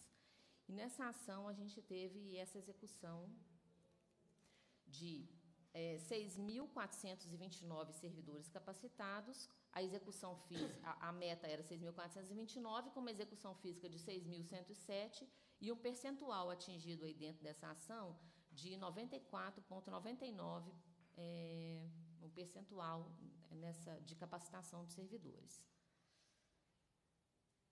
Muito bem, obrigada. Seria isso? Alguém tem alguma, alguma questão a apresentar, alguma dúvida? Muito obrigado, Karina, aí, pela apresentação. Obrigada. Né? E recentemente nós tivemos aí a oportunidade de participar da sabatina do novo presidente do, da FEMIG, aqui na casa. Ele, ele disse claramente a situação difícil que passa a rede. Nós estamos vendo aí todas, todo momento é, solicitações de socorro para os vários hospitais da rede FEMIG. Recentemente tivemos o episódio do fechamento do Hospital Galba Ortopédico, a comissão teve lá, participou. E, mas gostei muito porque o novo presidente ele falou, olha, nós vamos fazer um trabalho bem claro, bem transparente, a situação não está fácil, falta um recurso, e essa comissão ela vai estar para e passo com a, com a FEMIG, para que a gente possa encontrar algumas soluções e tentar melhorar um pouco aí os repasses de recursos, as parcerias público-privadas que estão sendo propostas. Enfim, eu acho que a rede ela vai sobreviver e eu espero que ela possa voltar a cumprir a sua missão, tão nobre missão, que é, dentro das suas várias unidades, trazer aí um atendimento de qualidade ao povo, aos pacientes do SUS, ao povo aí de Minas Gerais. Eu vou ter que me ausentar, está tendo uma, uma reunião no, com o presidente da casa, mas nós já ouvimos todos os, os órgãos aqui representados. Eu vou passar a palavra ao vice-presidente da comissão, passar os trabalhos ao vice-presidente da comissão, doutor Wilson, e peço desculpas por ter que me ausentar neste momento, mas ficam os meus agradecimentos a cada um de vocês, de maneira muito especial a nossa subsecretária Adriana, doutor Renato, e a cada um de vocês, a cada instituição que tão gentilmente é, atendeu o convite e veio prestar uma, um esclarecimentos é, é importante, isso aí é constitucional, faz parte do processo, mas a gente vê aí a disposição, a ansiedade e também a disposição de cada membro. Eu vou passar ao doutor Wilson para que possa continuar com os nossos trabalhos. Muito obrigado. Dando sequência, então, à nossa audiência, agora a gente passa a palavra aos deputados para suas considerações finais e logo depois passaremos também a, a palavra aos, aos expositores. Então, com a palavra, o deputado Jean Freire. Obrigado, senhor presidente. Bom dia a todos e todas. Eu, em audiências públicas, principalmente se tratando dessa prestação de conta, eu gosto de ficar mais ouvindo e acho que as intervenções é, são interessantes ser feitas depois que os gestores façam as suas colocações. Mas como na saúde a gente anda muito, como colocou aí o presidente, o doutor Carlos, é, Carlos Pimenta, e é um deputado que eu sei que anda muito também, e os outros colegas aqui dessa comissão, a gente acaba sabendo é, muito como está, já como está essa prestação de conta, e por isso a gente já chega aqui, eu acho que já preparados, né, sabendo a situação da saúde como está. Gente, eu gostaria de agradecer a todos vocês, os gestores que aqui tiveram presentes, colocar de maneira muito bem clara aqui essa prestação de conta. Nós não podemos deixar de ressaltar, sim, em alguns setores aí, como foi colocado no Minas, na FUNED, na Escola de Saúde Pública, algumas questões de avanço, mas é, nós não podemos deixar de ressaltar é, o grande déficit com a saúde no Estado de Minas Gerais. E, como disse o deputado Carlos Pimenta, é, independente de questão partidária, como foi feita aí a cobrança do que essa comissão faz em relação ao governo. É, eu sou prova, nós tivemos há uns dias atrás, eu e o deputado Carlos Pimenta, na cidade de Nanuque, e tivemos lá com o governador é, naquele momento e fizemos essas cobranças. Eu acho que nós temos que saber separar e eu sempre coloco aqui que, nesse momento, o partido nosso é o partido da saúde, é o partido do SUS, de defender um SUS é, de qualidade, de empoderar o SUS. Né? Eu acho que, enquanto nós não reconhecermos esse sistema de saúde como o maior plano de saúde do mundo e que cumpre o seu papel é, bem, mas precisa cumprir melhor, porque ele veio para isso, né? é, indiferente de condição financeira, de raça, de credo. O SUS está ali para todos e nós vemos que, no momento que precisa, é ele que atende a todos. Né? Principalmente na questão de emergência, a gente vê todos aí procurando, batendo nas portas do SUS. Mas, como eu vim também colocar aqui, é, o doutor Wilson colocou tão bem, e, e gente é um dos que puxa essa luta aqui, fala. É, não adianta nós ficarmos batendo somente na questão financeira. Essa eu acho que é de conhecimento de todos, que precisa mudar e avançar. E eu acho que não tem ninguém aqui que não vai defender que tem que, no mínimo, colocar o mínimo. Isso é indiscutível. Né? Independente do partido que lá esteja, tem, no mínimo, colocar o mínimo. Assim como o cidadão comum presta é, o seu papel na hora de pagar os seus impostos e faz e tem que fazer aquilo, é, o Estado e todos os governos também têm que fazer aquilo. Né? Nós já vimos também absurdos, e o deputado Carlos estava comigo no dia, é, de locais, foi um, um fato somente nós, que nós presenciamos, porque eu reconheço que as prefeituras gastam mais do que podem, do que deveriam e do que podem gastar, é quem mais aplica, mas eu e ele presenciamos uma vez numa cidade onde se gastou 1%. 1% somente. Né? E a gente vê o caos realmente. Mas nós temos que discutir também os serviços, como colocou o deputado Wilson aqui, é, investir mais em serviço novo, e isso historicamente, todos os governos. Eu acho que nós temos que fazer o que tem dar certo, o que existe dar certo.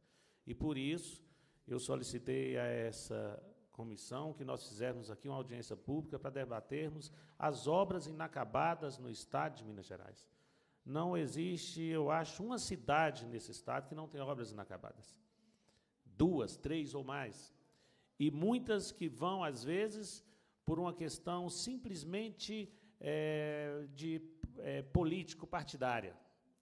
Ou é o deputado da região ou é a liderança da região que acha que ali tem que ir um hospital regional, que ali tem que ir um determinado posto, que ali tem, sem estudo técnico, sem nada antes para mostrar que aquilo é necessário aí. E dói na gente ver obras e obras inacabadas, em todas as áreas, não só de saúde. Mas aí você vê quanto daquele dinheiro que se tem numa cidade cinco obras inacabadas, não poderia ter uma terminada e fazendo a função que ela cumpre. Né? Então, eu acho que nós temos que também dizer que também é um erro. A questão financeira é, é um déficit imenso e tem que se corrigir isso. Né? A gestão também é, porque por mais que estejamos em crise, nós também, nós vimos o hospital, por exemplo, eu fui agora à cidade de Jaimorés, visitei o hospital daquela cidade e faço questão de perguntar, os salários estão atrasados? Não só do médico, de todos. Né? Como está a medicação? Está tendo medicação? E a gente viu, eu presenciei lá, e os funcionários, e os médicos, e, os técnicos, todos me passaram, um hospital bem gerido. Está né? Tá funcionando. Né? Mesmo nessa questão do momento de crise. E não é porque está funcionando, não precisa de ajuda, não. Precisa mais também. Né? Precisa e precisamos também potencializar quem faz e faz bem. Né? É, mas também é, é, nós temos que ter coragem de tocar o dedo nessa ferida também.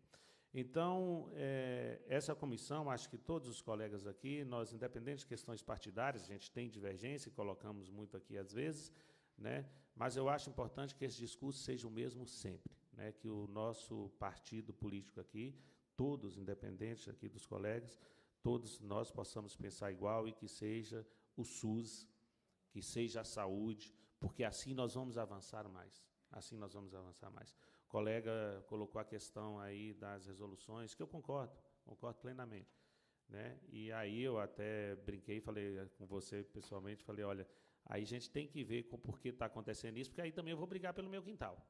Né? O, quintal mais importante do mundo é a casa da gente. Aí eu vou brigar pela minha região também.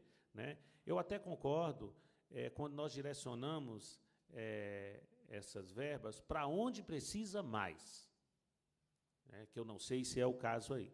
Mas nós temos que realmente aprender que nós temos que tratar os diferentes de maneiras diferentes. Então, vamos colocar mais onde tem menos, onde precisa mais. Então, eu gostaria de agradecer. É, fico feliz quando essa prestação de conta é, decorre assim com, é, com cordialidade, né, gente ouvindo, né, sem ataques de ambos os lados. Então, eu acho que foi muito válido essa audiência que todas as outras sejam assim. E estava aqui comentando com o deputado Geraldo, seria interessante que todas as secretarias tivessem. Né? Vejam como o SUS é democrático. Né?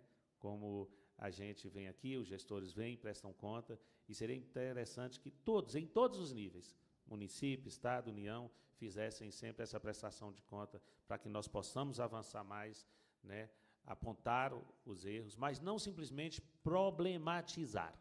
Não simplesmente problematizar. Eu costumo dizer que eu me preocupo em reuniões que eu chego e as pessoas falam, vamos problematizar, ou colocando questões para problematizar. Nós temos que solucionar. Né?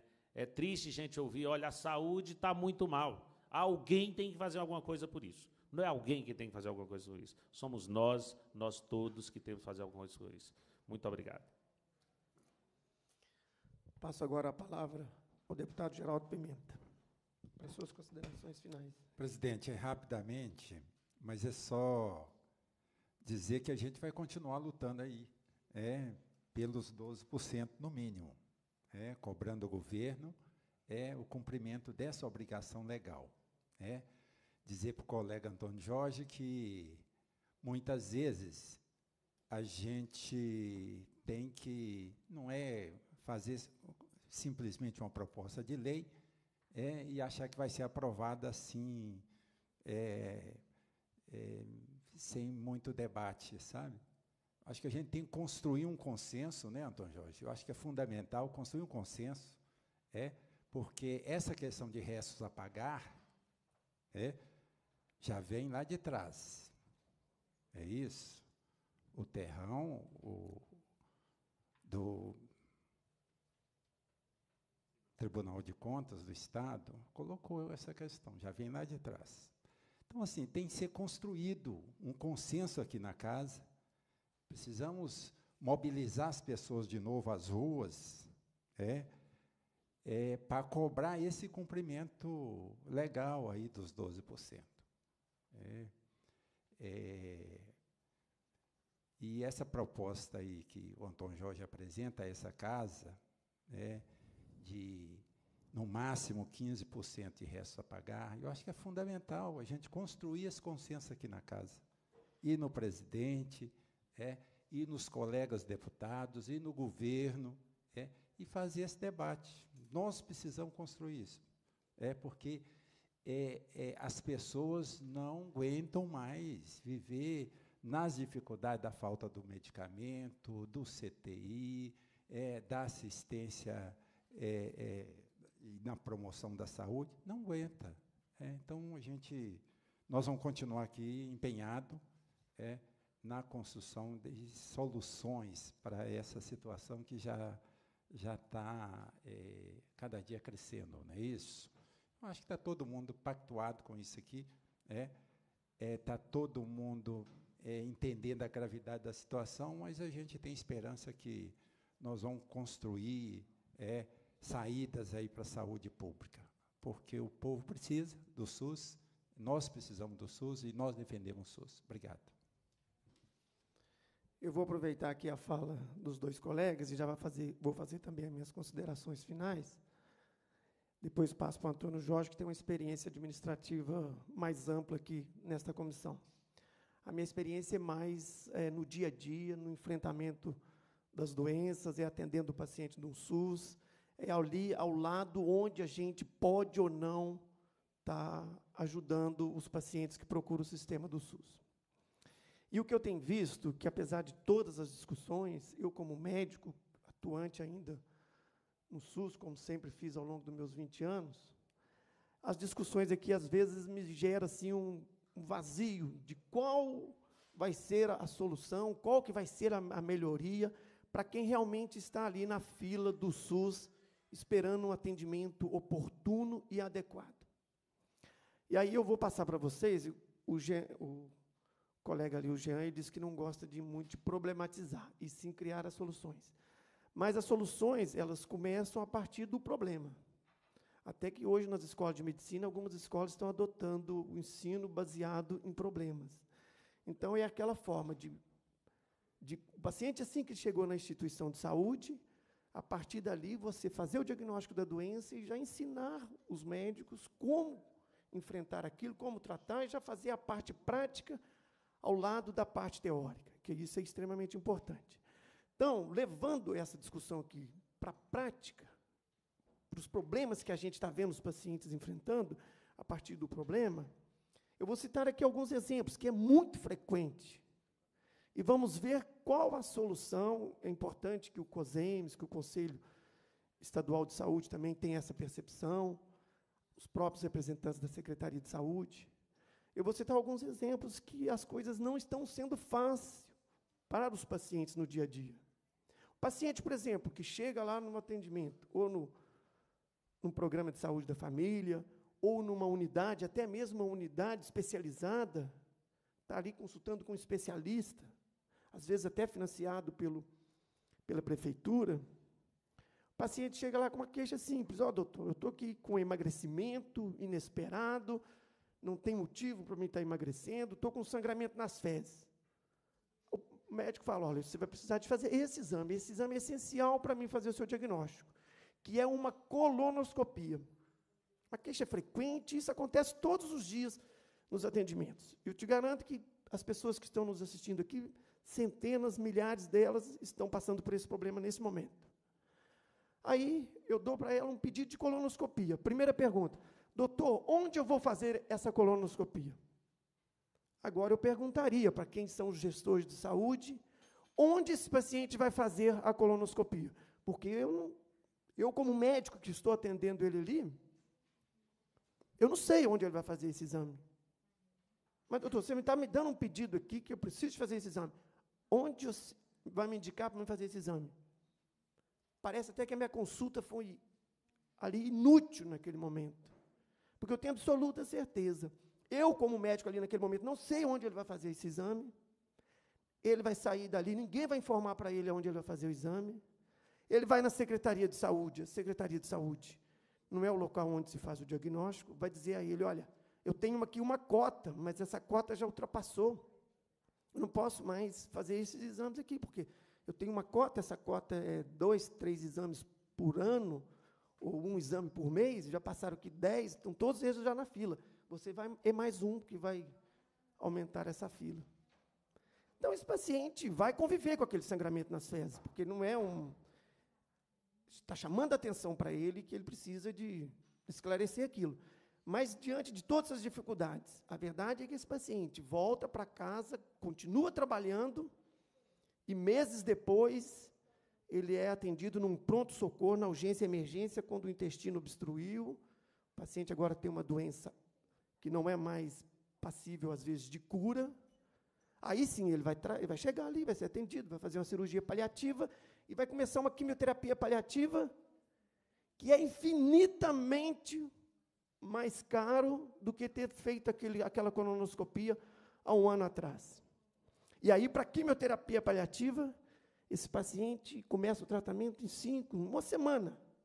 Chegou ali, fez a biópsia, quimioterapia paliativa e um procedimento que paga bem no SUS, que vale a pena fazer.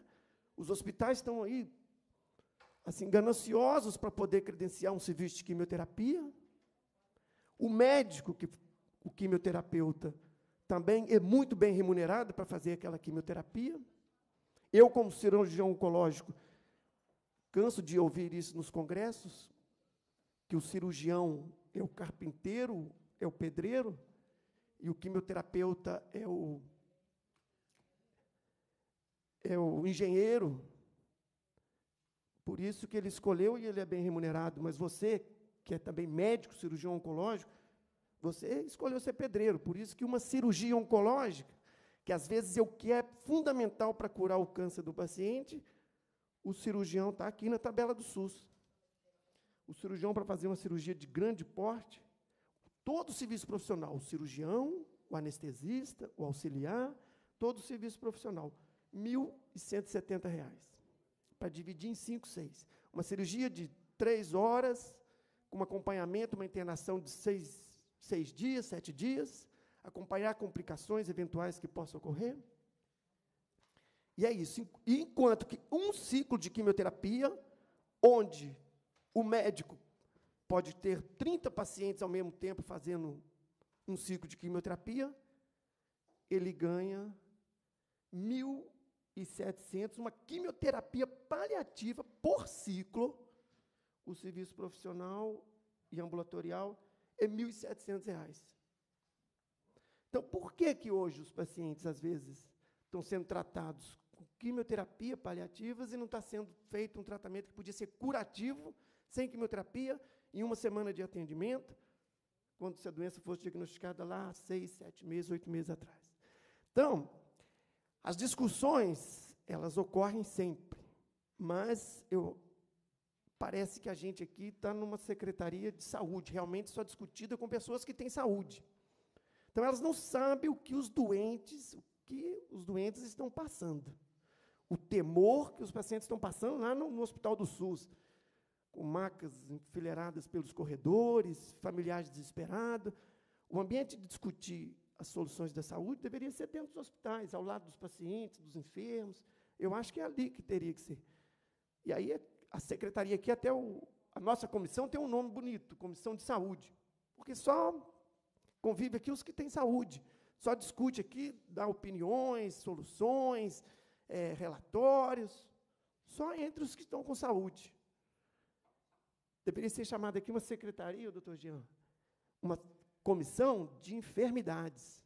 Porque aí sim a gente ia trazer aqui as pessoas realmente que estão enfrentando a doença, que estão ali doentes, sem recursos, dependendo de centenas de pessoas para poder ampará-las. E é isso. Então, voltando àquela pergunta, onde esse paciente consegue aquela colonoscopia? Ele tem que pedir um favor a um vereador, a uns amigos, e, na maioria das vezes, até fazer empréstimos para pagar aquele exame. Isso é aquele que ainda tem coragem, talvez, de correr atrás de não ficar sem fazer os exames. Porque a maioria deles deixa de fazer os exames e só volta a procurar uma assistência médica quando a doença já se agravou. Então, a nossa, a minha preocupação, eu acho que a preocupação da Comissão de Saúde, deveria ser exatamente isso, de como vamos melhorar o dia a dia de quem está dentro de um hospital do câncer? Porque muito, não, ou de qualquer um hospital, porque hoje o acesso mais fácil é só através da urgência e emergência. Eu, SAMU, que, que foi ali atender um trauma, leva o paciente para o hospital. Esse vai direto para o hospital, rápido, e, e tem algumas soluções imediatas, e talvez uns segundos atendimentos, pode até não ser, não ter o mesmo, a mesma é, a sua mesma necessidade atendida, mas no primeiro, na primeira necessidade ali de salvar a vida sempre foi bem atendido. Mas os outros pacientes hoje que convivem com doenças, estes, infelizmente, nós não estamos tendo uma. Até mesmo com o que o SUS financia hoje, não está sendo bem organizado. Às vezes nós deixamos as decisões, as, as pactuações por ser tomadas pelos gestores de saúde, por 850 gestor municipal de saúde, a pactuação. E o, durante o mandato, a pactuação é, é para um município, mudou o prefeito, muda a pactuação, e aí os pacientes ficam naquele. Hoje eu não posso ser mais atendido naquela referência, porque o secretário de saúde que pactuou outra referência. E assim a gente vê, às vezes, alguns hospitais com serviço disponível, com cirurgião disponível, com o paciente esperando na fila, mas não pode ser tratado na, naquele hospital, não pode ser operado naquele hospital. que a referência é outro hospital que às vezes não está tendo, tem uma demanda ainda maior, não está conseguindo atender novos pacientes. E até isso o paciente também tem que ser vítima dos, das pactuações. Eu acho que essas decisões o Estado tem que tomar à frente. De quais serviços estão preparados, quais devem ter novos investimentos, quais estão dando resolutividade. Isso, o Estado, que é o gestor da saúde principal, ele tem que ter um, um diagnóstico, um raio-x de quais hospitais estão dando resultados, qual, a, o número de pacientes que são atendidos, os números de doenças que são tratadas. Porque, senão, nós passamos por isso aqui, uma resolução da Secretaria de Saúde do Estado, que envia milhões para alguns municípios, com qual critério de escolha? Tenho absoluta certeza que não é o critério dos pacientes que estão na fila. Tenho absoluta certeza de que não é critério, que esse, esse investimento aqui vai tirar alguém da fila. Isso aqui vai tirar algum paciente hoje que está esperando uma cirurgia, um exame, um tratamento, uma vaga na UTI. Eu quero ver se, se isso aqui vai tirar algum paciente dessa fila. E isso também, eu sou testemunha até com as nossas emendas parlamentares, que às vezes enviamos para, para alguns hospitais, eu fico imaginando, será que essa emenda que eu estou mandando para o hospital vai trazer algum benefício diretamente para algum paciente? Será que alguma paciente vai, ser, sair, vai ter o seu atendimento realizado a partir desta emenda que a gente enviou? Então é isso que eu acho que o Estado tem que ser parceiro de saber quais hospitais, quais instituições estão dando resultados. Se o, o investimento que está sendo feito, se realmente está chegando a quem precisa. Então, é esta as minhas considerações. Eu precisaria de falar isso porque eu tenho absoluta certeza que nas, nos meus dias de atendimento no SUS, eu só vejo dificuldades. E fico imaginando, eu estou lá dentro da Assembleia como médico, como deputado, será que estou podendo aqui sanar alguma dessas dificuldades que, que eu estou vivenciando, presenciando, a olho vivo, paciente tremendo na nossa frente aqui, para fazer um tratamento, e viajando de cidades em cidades. Esses dias atrás, há uma semana, um paciente de São João del Rei com câncer de estômago, até hoje não foi operado, tem mais de 60 dias já, ficou internado em São João del Rei, ficou internado em Cataguases, tentou uma vaga em Muriaé, não conseguiu. Cataguases, eu fui lá para operar ele, não tinha vaga na UTI, mesmo eu saindo de Muriaé, que é uma cidade um pouco distante, indo ali para operar o paciente pelo SUS, não consegui operar, o paciente voltou para São João del Rei, está lá fazendo quimioterapia. É isso que a gente vê. Às vezes, podendo fazer alguma coisa de concreto, de bom, que poderia dar um bom resultado para o paciente, não se consegue fazer. Nem quando tem um médico disponível, com a estrutura. São tantas dificuldades que os pacientes enfrentam que a gente não podemos perder aqui a esperança de lutar, mas eu acho que é esse hoje o dia a dia. Os gestores do SUS têm que voltar mais de perto à realidade dos hospitais, dos médicos e dos pacientes. Agora eu passo a palavra aqui ao deputado Antônio Jorge. Bom, eu saio com uma frustração muito grande dessa audiência. Acho que ainda vou ter a oportunidade de escutar alguns dos nossos convidados, mas não acredito que a gente tenha nenhuma informação adicional que possa mudar esse cenário né, tão terrível né, e, e a minha percepção de muita frustração com o estado geral das coisas, mas especialmente também com essa audiência. Eu quero me desculpar com a Poliana, né? E tenho certeza se preparou bastante para essa audiência, acabou não expondo, né, o, os dados da SES. pela dinâmica da reunião, acabou não sendo possível, mas é, deixo uma contribuição grande aqui, que é o consolidado das informações, né? Eu vou tentar é, fazer um, uma visita ao secretário Sávio, já faço de público aqui o pedido da agenda. Eu gostaria de contribuir com o consolidado, sabe? Acho que existem algumas informações adicionais é, na formatação das colunas que aumentaria a nossa é, perspectiva de análise com mais facilidade do ponto de vista da transparência. Mas o, o que realmente resta nesse sentimento de profunda frustração, eu acho que nós todos aqui colocamos de uma forma talvez diferenciada, mas é um tremendo sentimento de impotência. Né? Nós fazemos parte de um poder constituído, é, temos um mandato popular, e, ao fim e ao cabo, mostra a, fragilidade do equilíbrio entre os poderes. Né?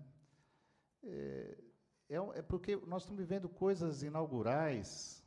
É, eu, como parlamentar, estou aqui há três anos, mas estive na gestão durante oito anos.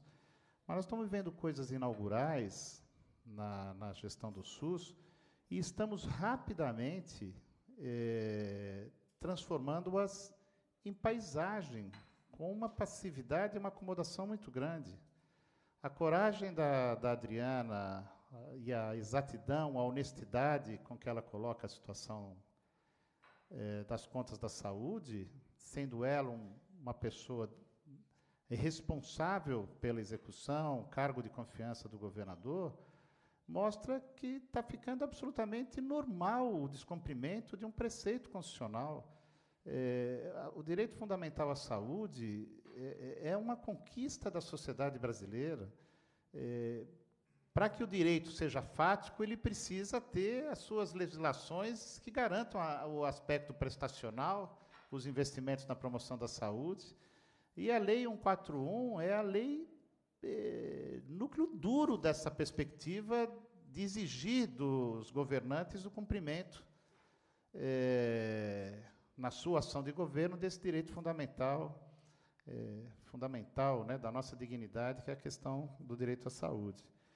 E vejam o que está acontecendo. Apesar de todas as nossas aqui transparências, o governo admite que não gasta, o Tribunal de Contas reje, ah, o Ministério Público Tribunal de Contas rejeita as contas, é, vamos acumulando restos a pagar nessa criminosa mandracaria aí do, dos 12%, é, mas nós vamos sair dessa reunião absolutamente sem nenhum encaminhamento objetivo, Eduardo. Essa é a questão, é muita frustração.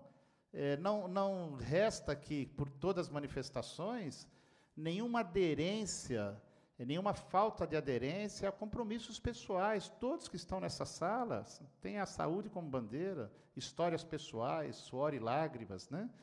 É, fico feliz toda vez que eu vejo técnicos falando pela saúde. Não conhecia Jussara, Jussara, fiquei muito feliz com a exatidão da, da exposição. Né?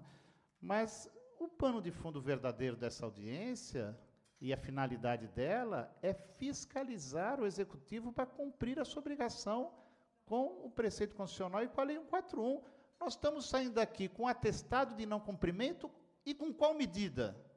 Nós somos um poder constituído, presidente. Por isso que eu rogo que não é uma questão de apresentar um projetinho de lei para achar que o mundo vai mudar, mas se existe alguma coisa ao nosso alcance hoje, é essa Casa do Povo colocar um limite nos restos a pagar do governo. E eu falo isso sem constrangimento. Eu fui do governo passado e usou esse expediente. A minha bandeira aqui não é o governo passado, esse governo, é a bandeira da saúde.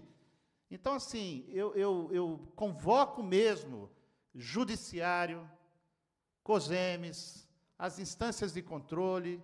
Nós fomos a, a, ao presidente do Tribunal de Contas, eu fui ao procurador-geral. Nós precisamos de, deputado Jean, precisamos, deputado eh, Geraldo Pimenta, verdadeiramente um consenso, mas nós temos que forçar esse consenso. É, é, da nossa responsabilidade isso. É do judiciário, é do controle social, é do COSEMES. Não é possível tolerar. Nós teremos agora, mais uma vez, votação da LOA. Há uma oportunidade de colocarmos uma cunha nesse assunto de limitar na lei orçamentária o absurdo descalabro de ter mais de 50% do orçamento esse ano e resta pagar. Se, nós, se isso está no nosso alcance e nós não fizermos, estamos nós também, Poder Legislativo e outros poderes constituídos, omisso. Estamos nós também cansados da própria voz, não adianta lamentar e não ter ações objetivas. Essa está ao nosso alcance. Queria, para não passar e, e até para valorizar o trabalho da equipe técnica da SES, assim, o primeiro quadro do relatório fala por si só. É o relatório quadrimestral. Muitas despesas são maiores no primeiro quadrimestre, inclusive.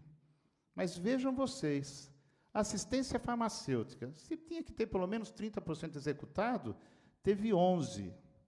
E eu perguntei à Adriana, ela me falou, continuo com a dúvida, talvez a Poliana possa falar. Despesa realizada é paga ou. Li... Nossa! Então é muito pior o cenário.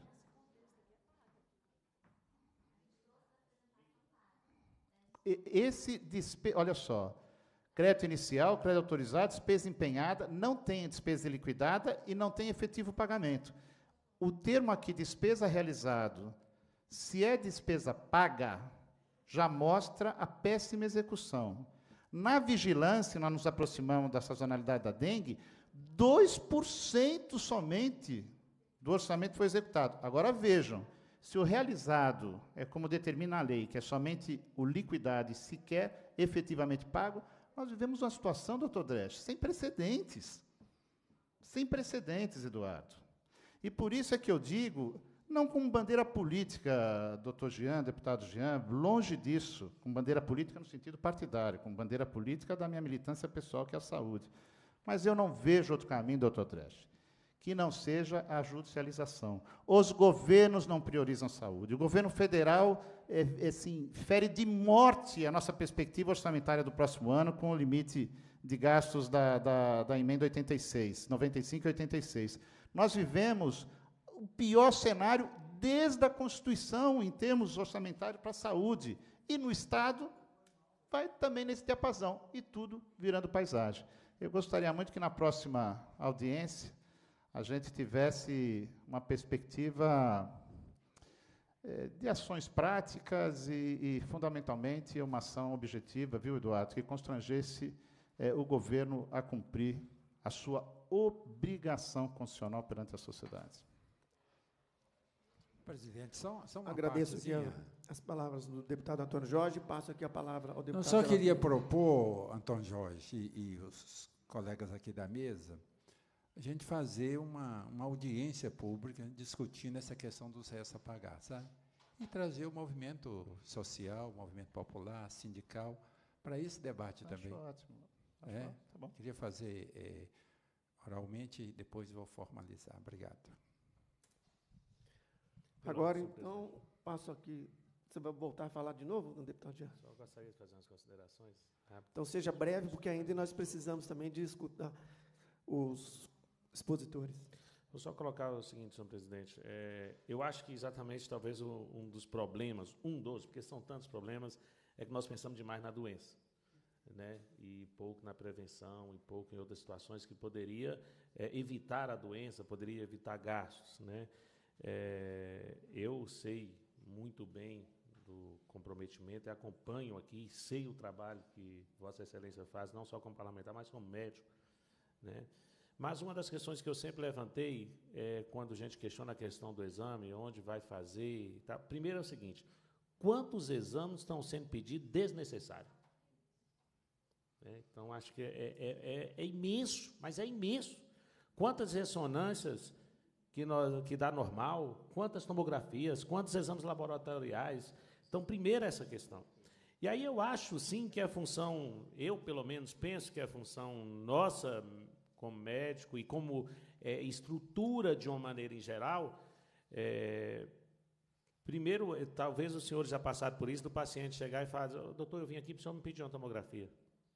Eu já passei muitas vezes por isso. Vim aqui para o senhor me pedir uma tomografia. Ou então ligar à Secretaria de Saúde do município e falar assim, ô doutor, o senhor não colocou urgente, coloca urgente, senão a gente não faz. Mas o exame não é urgente, não é urgente, por isso que eu não coloquei. Então, assim, todo mundo vai colaborando por ralo, para dinheiro ir embora, todo mundo vai colaborando. Aí eu acho que é função, sim, de todos, inclusive é, mostrar a, a, o caminho das pedras para o paciente. Não, eu estou te pedindo esse exame, ou, ou, que seja todo o sistema, o hospital, o assistente social, ou o próprio médico, aqui você vai conseguir ali, você vai ali, você vai ali, para ter efetividade o meu tratamento. Né? Então, só essa é, colaboração que eu queria dar. Parece, senhor presidente, que eu até li a matéria do tempo hoje, mas eu não li. O deputado Geraldo Pimenta me mostrava aqui a questão que traz aqui, em cada oito cidades, de cada dez cidades de Minas Gerais, oito nós temos obras inacabadas do governo federal. 1.042 obras inacabadas do governo estadual, 1.335 com recursos já colocados, pelo que eu entendi na matéria, e não iniciado as obras. Né? Então, é, é, é outra questão que nós temos que tratar de maneira séria para fechar o ralo. Senão, a gente vai só colocando dinheiro também. Então, se nós não discutirmos tudo ao mesmo tempo, e quero reafirmar aqui, dizer é, que o deputado Antônio Jorge tem total razão nessa questão de restos a pagar, que nós temos que discutir sim, e como coloquei, em todos, em todos os governos. Eu acho que uma das questões que, é, no primeiro ano do governo Fernando Pimentel, é, quando lá estava o secretário Falso, eu presenciei muito isso, é, como se pagou restos a pagar do outro governo. Né? E talvez aí também foi, talvez, um...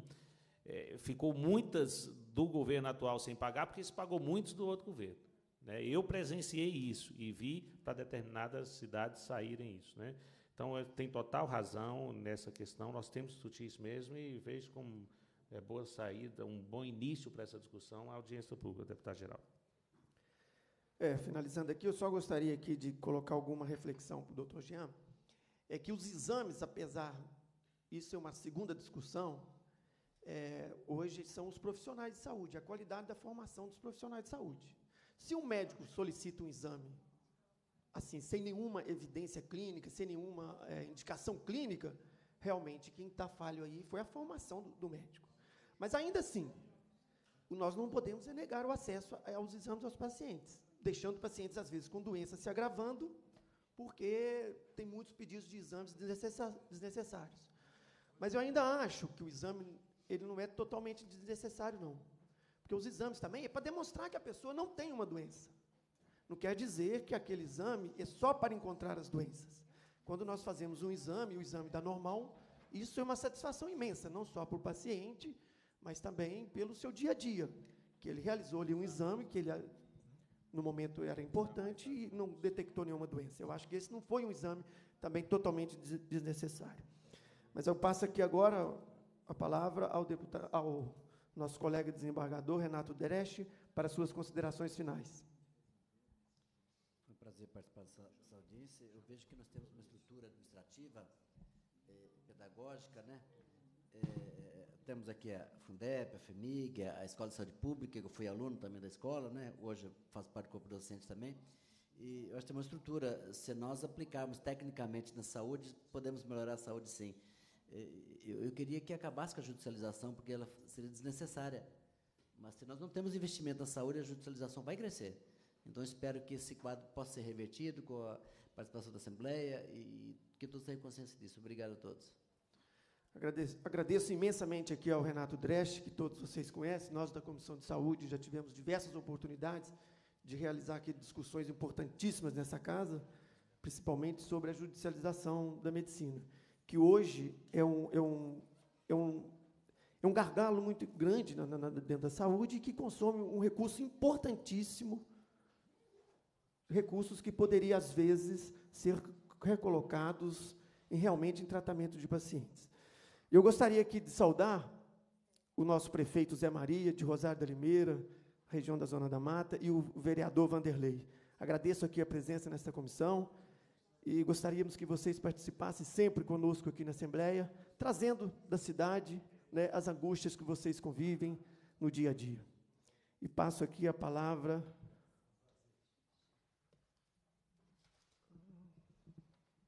Adriana Ramos que é subsecretária de Inovação e Logística da Secretaria de Saúde do Estado. É, eu gostaria aqui de fazer alguns esclarecimentos, até que, que o Eduardo colocou. É, inicialmente, Eduardo, você citou aí a resolução 5841, de 10 de agosto de 2017, de recursos que foram alocados em determinadas entidades ou municípios. Isso aqui são recursos oriundos de emenda. Tá? Só para poder fazer esse esclarecimento aqui, que isso aqui não é dinheiro ordinário da SES, isso aqui são, vieram todos recursos de emenda. É, como, como, como o próprio doutor Wilson já colocou, que às vezes até, pode até ser que as emendas não sejam né, efetivas, existe essa dúvida aí. Né? Acho que a gente pode avançar, a gente tem um diálogo com alguns, com alguns deputados, alguns deputados nos procuram, né? querendo saber o, é, o portfólio, onde existe a maior demanda, Mas, enfim, eu acho que é um processo que, que isso a gente pode, pode aprimorar e é um processo de conscientização também. Né? É, a, segunda, a segunda coisa que você colocou aí, que eu gostaria de esclarecer, que é a questão que, é, que você disse que o secretário, em determinada reunião, colocou que é fácil contingenciar né, na saúde. É, o que acontece, de fato, é que nós temos um orçamento já que eu nem poderia trazer de forma diferente para essa Assembleia, porque foi aprovado por essa Assembleia com déficit já. Né? Então, é público, não adianta. Né? A nossa forma de trabalhar, tanto minha quanto do secretário Sávia, que eu tenho muito apreço, é, é transparente. Né? Não tem, acho que a gente não tem que, que colocar aí é, obstáculos na informação. Esse é o nosso objetivo. E o que, o que foi colocado, que é uma leitura nossa da secretaria, é que nas outras, nas outras pastas, a exemplo da educação, da segurança, os maiores valores, né, o significativo, é o pagamento do salário. Então, fica mais fácil o cumprimento na saúde, a, na, na educação, com o cumprimento da folha da educação. Fica mais fácil o cumprimento na segurança com o cumprimento da folha da segurança. Agora, na saúde, como os salários né, não impactam tanto, o impacto é grande, mas não, não tanto, fica é, é uma, para o governo fica mais fácil contingenciar ali, onde estão os maiores investimentos, onde estão as maiores aquisições. Foi isso. Isso é uma leitura nossa, mas não é em nenhum momento que o secretário queira, não é uma decisão nossa, que é mais fácil contingenciar na saúde. Não é. Isso, isso é apenas uma, uma leitura. Outra questão que eu acho importante é, para finalizar aqui, a gente fazer uma reflexão desse, desse apontamento aqui da, dos restos a pagar. Isso não é uma inovação né, dessa gestão, já vem aí de longa data essas questões, como eu já coloquei inicialmente.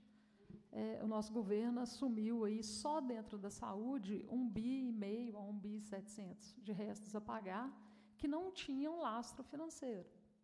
Então, a minha maior preocupação, é, é uma pena que, que, o deputado Antônio Jorge não esteja aqui ainda, é, não é o valor, se, se passaram 10%, se passaram 5%, 15%, 20%, 30%. A minha maior preocupação não é essa. A preocupação é se existe um lastro financeiro para poder comportar esse compromisso. É, o que a gente vem, vem é, observando aí é que desde 2012, 13, 14, 15, não, não tinha esse lastro financeiro. Né? Desse, desse governo agora, eu acho que em 2015, quando, quando o Pimentel entrou, isso deveria ter sido visto. Né? Onde que está o lastro financeiro desse 1 bi 700 só, só dentro da saúde? Né? Eu não fiz o detalhamento aí nas outras áreas. Então, é, é, eu acho que é uma, é uma avaliação aí, eu não, não me preocupa muito essa questão do percentual né, do que vai, desde que fique comprovado que existe aí essa possibilidade de arcar com, com esses compromissos. É, gostaria, mais uma vez aqui, de agradecer a oportunidade, né, a oportunidade de estar na, nessa casa, que, que é uma casa aberta, né, que acho que nós estamos buscando aqui os mesmos objetivos, batalhando pela saúde, pelas entregas, por uma qualidade melhor né, dos serviços prestados à população. E, e toda, eu, né, eu acho muito, muito importante, né, deputado, a, a questão sim da discussão dos restos a pagar, vamos, vamos enfrentar, né, vamos enfrentar essas questões que, que nos são colocadas de forma aberta, de forma transparente. Né, na Secretaria de Saúde nós estamos aqui à disposição Todos vocês conhecem o secretário Sávio também, a forma que ele, que ele se porta, né, com muita transparência, com muita honestidade. E eu quero mais uma vez aqui agradecer a oportunidade de colocar a Secretaria de Saúde à disposição dessa casa. Adriana, agradeço imensamente aqui a sua participação, né? uma participação corajosa e transparente, e até mesmo porque esses restos a pagar existem é, algumas obras que foram iniciadas no passado e que realmente, no, no, curso da obra, identificou que aquela obra não teria uma assistência, uma finalidade, não estaria fazendo cobertura de uma demanda E isso foi o que ocorreu. Por exemplo, foram construídas aqui em Minas Gerais 75 unidades de pronto atendimento, financiamento do governo federal. 52 ficaram prontas, mas estão fechadas ainda.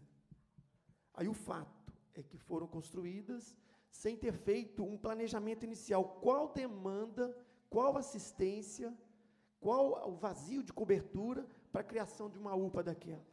E hoje ter um financiamento aí de um milhão e meio, dois milhões mensais, sendo que não tem ali um vazio assistencial para a existência daquela UPA. Então, o melhor é interromper, às vezes, alguma dessas obras. E aí, isso aí também tenho certeza que impactou nesses restos a pagar, que foi acumulando.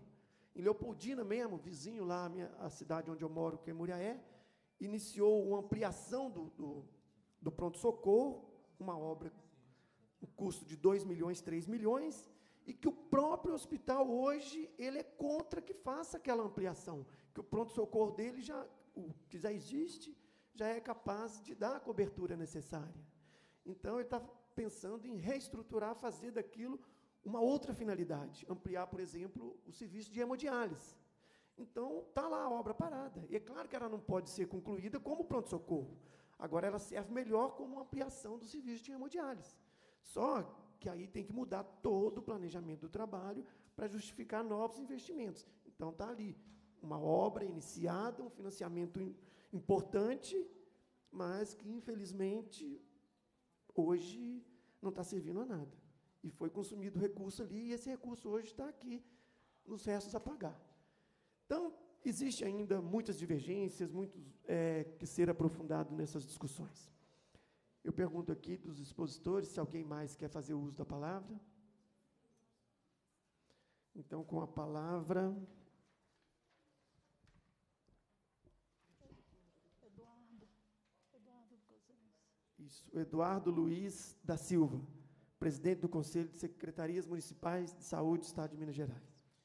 Só, deputado Wilson, é, duas ponderações.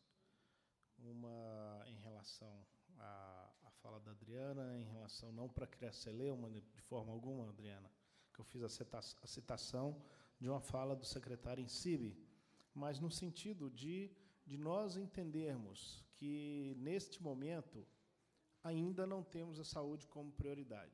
E precisamos, sim, ter a saúde como prioridade, porque quando nós contingenciamos na saúde, a gente está contingenciando o direito ao acesso a, saúde e direito à vida. Então, a, não para criar nenhuma celeuma, mas simplesmente para trazer à luz e colocar no contexto da minha fala, né, que eu falava no sentido de que nós precisamos voltar a, a, a ter a saúde como prioridade.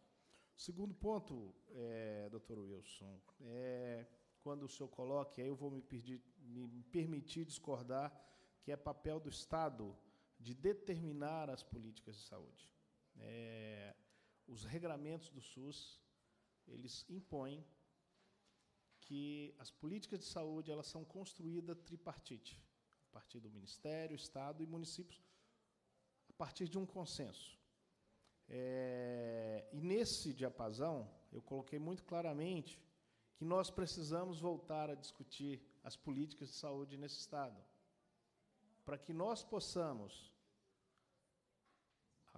duas mãos aqui no Estado, que é SES e COSEMES, voltar a reunir as, os grupos condutores da urgência, da Rede Cegonha, da comissão hospitalar, que eu citei, que estamos construindo agora e vamos apresentar uma política da hospitalar, né, e pactuar na CIB, tentar pactuar na CIB, é, para que nós possamos ter não a verticalização da saúde, mas que nós possamos, olhando para os territórios de Minas, pelas necessidades, e aí quando o senhor diz qual o hospital que está cumprindo o seu papel, é nesse sentido de olhar para esses hospitais, olhar para essas regiões, olhar para a atenção primária, olhar para, para, para a vigilância em saúde, para a assistência farmacêutica, para que nós possamos voltar a discutir as redes de atenção à saúde no estado de Minas Gerais. E não ficarmos apagando incêndio como estamos fazendo há muito tempo,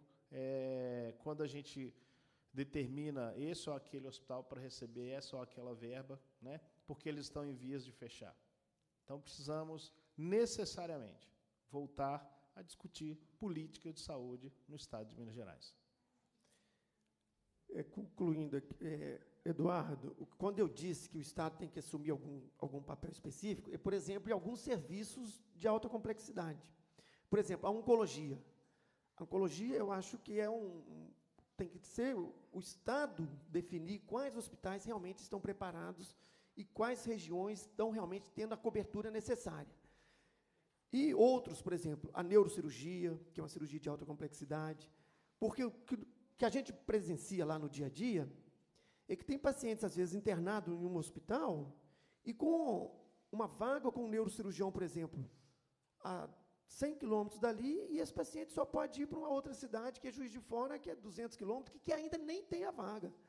Então, são alguns serviços de alta complexidade. É claro que a saúde ela tem que caminhar tripartite é município, Estado e os secretários, isso é óbvio. Mas alguns serviços hoje que está dentro de um gargalo e que os pacientes estão tendo é, dificuldades de ter acesso, que isso seja um pouquinho mais amplo e, e não possa ser uma decisão exclusivamente de cada gestor de saúde, que são 850 gestores de saúde. Às vezes, muitos, quando assumem a Secretaria de Saúde, eles não têm experiência de fluxo de pacientes, pacientes, às vezes, que estão em tratamentos de anos. Então, a minha preocupação é essa, é com algumas áreas dentro da alta complexidade, nem todas. E o restante, eu acho que caminha bem. Então, eu acho que eu, essa que é, que é a minha percepção. Só para contribuir, é, não para criar nenhum... Nós temos na dentro da, das comissões, nós temos uma comissão que discute é, unicamente a oncologia. É uma comissão SESC-COSEMES, que inclusive se reuniu ontem para discutir alguns assuntos. É muito importante dizer que a alta complexidade ela não é pactuada por município, ela é pactuada por região de saúde. Então, quem decide é a região de saúde.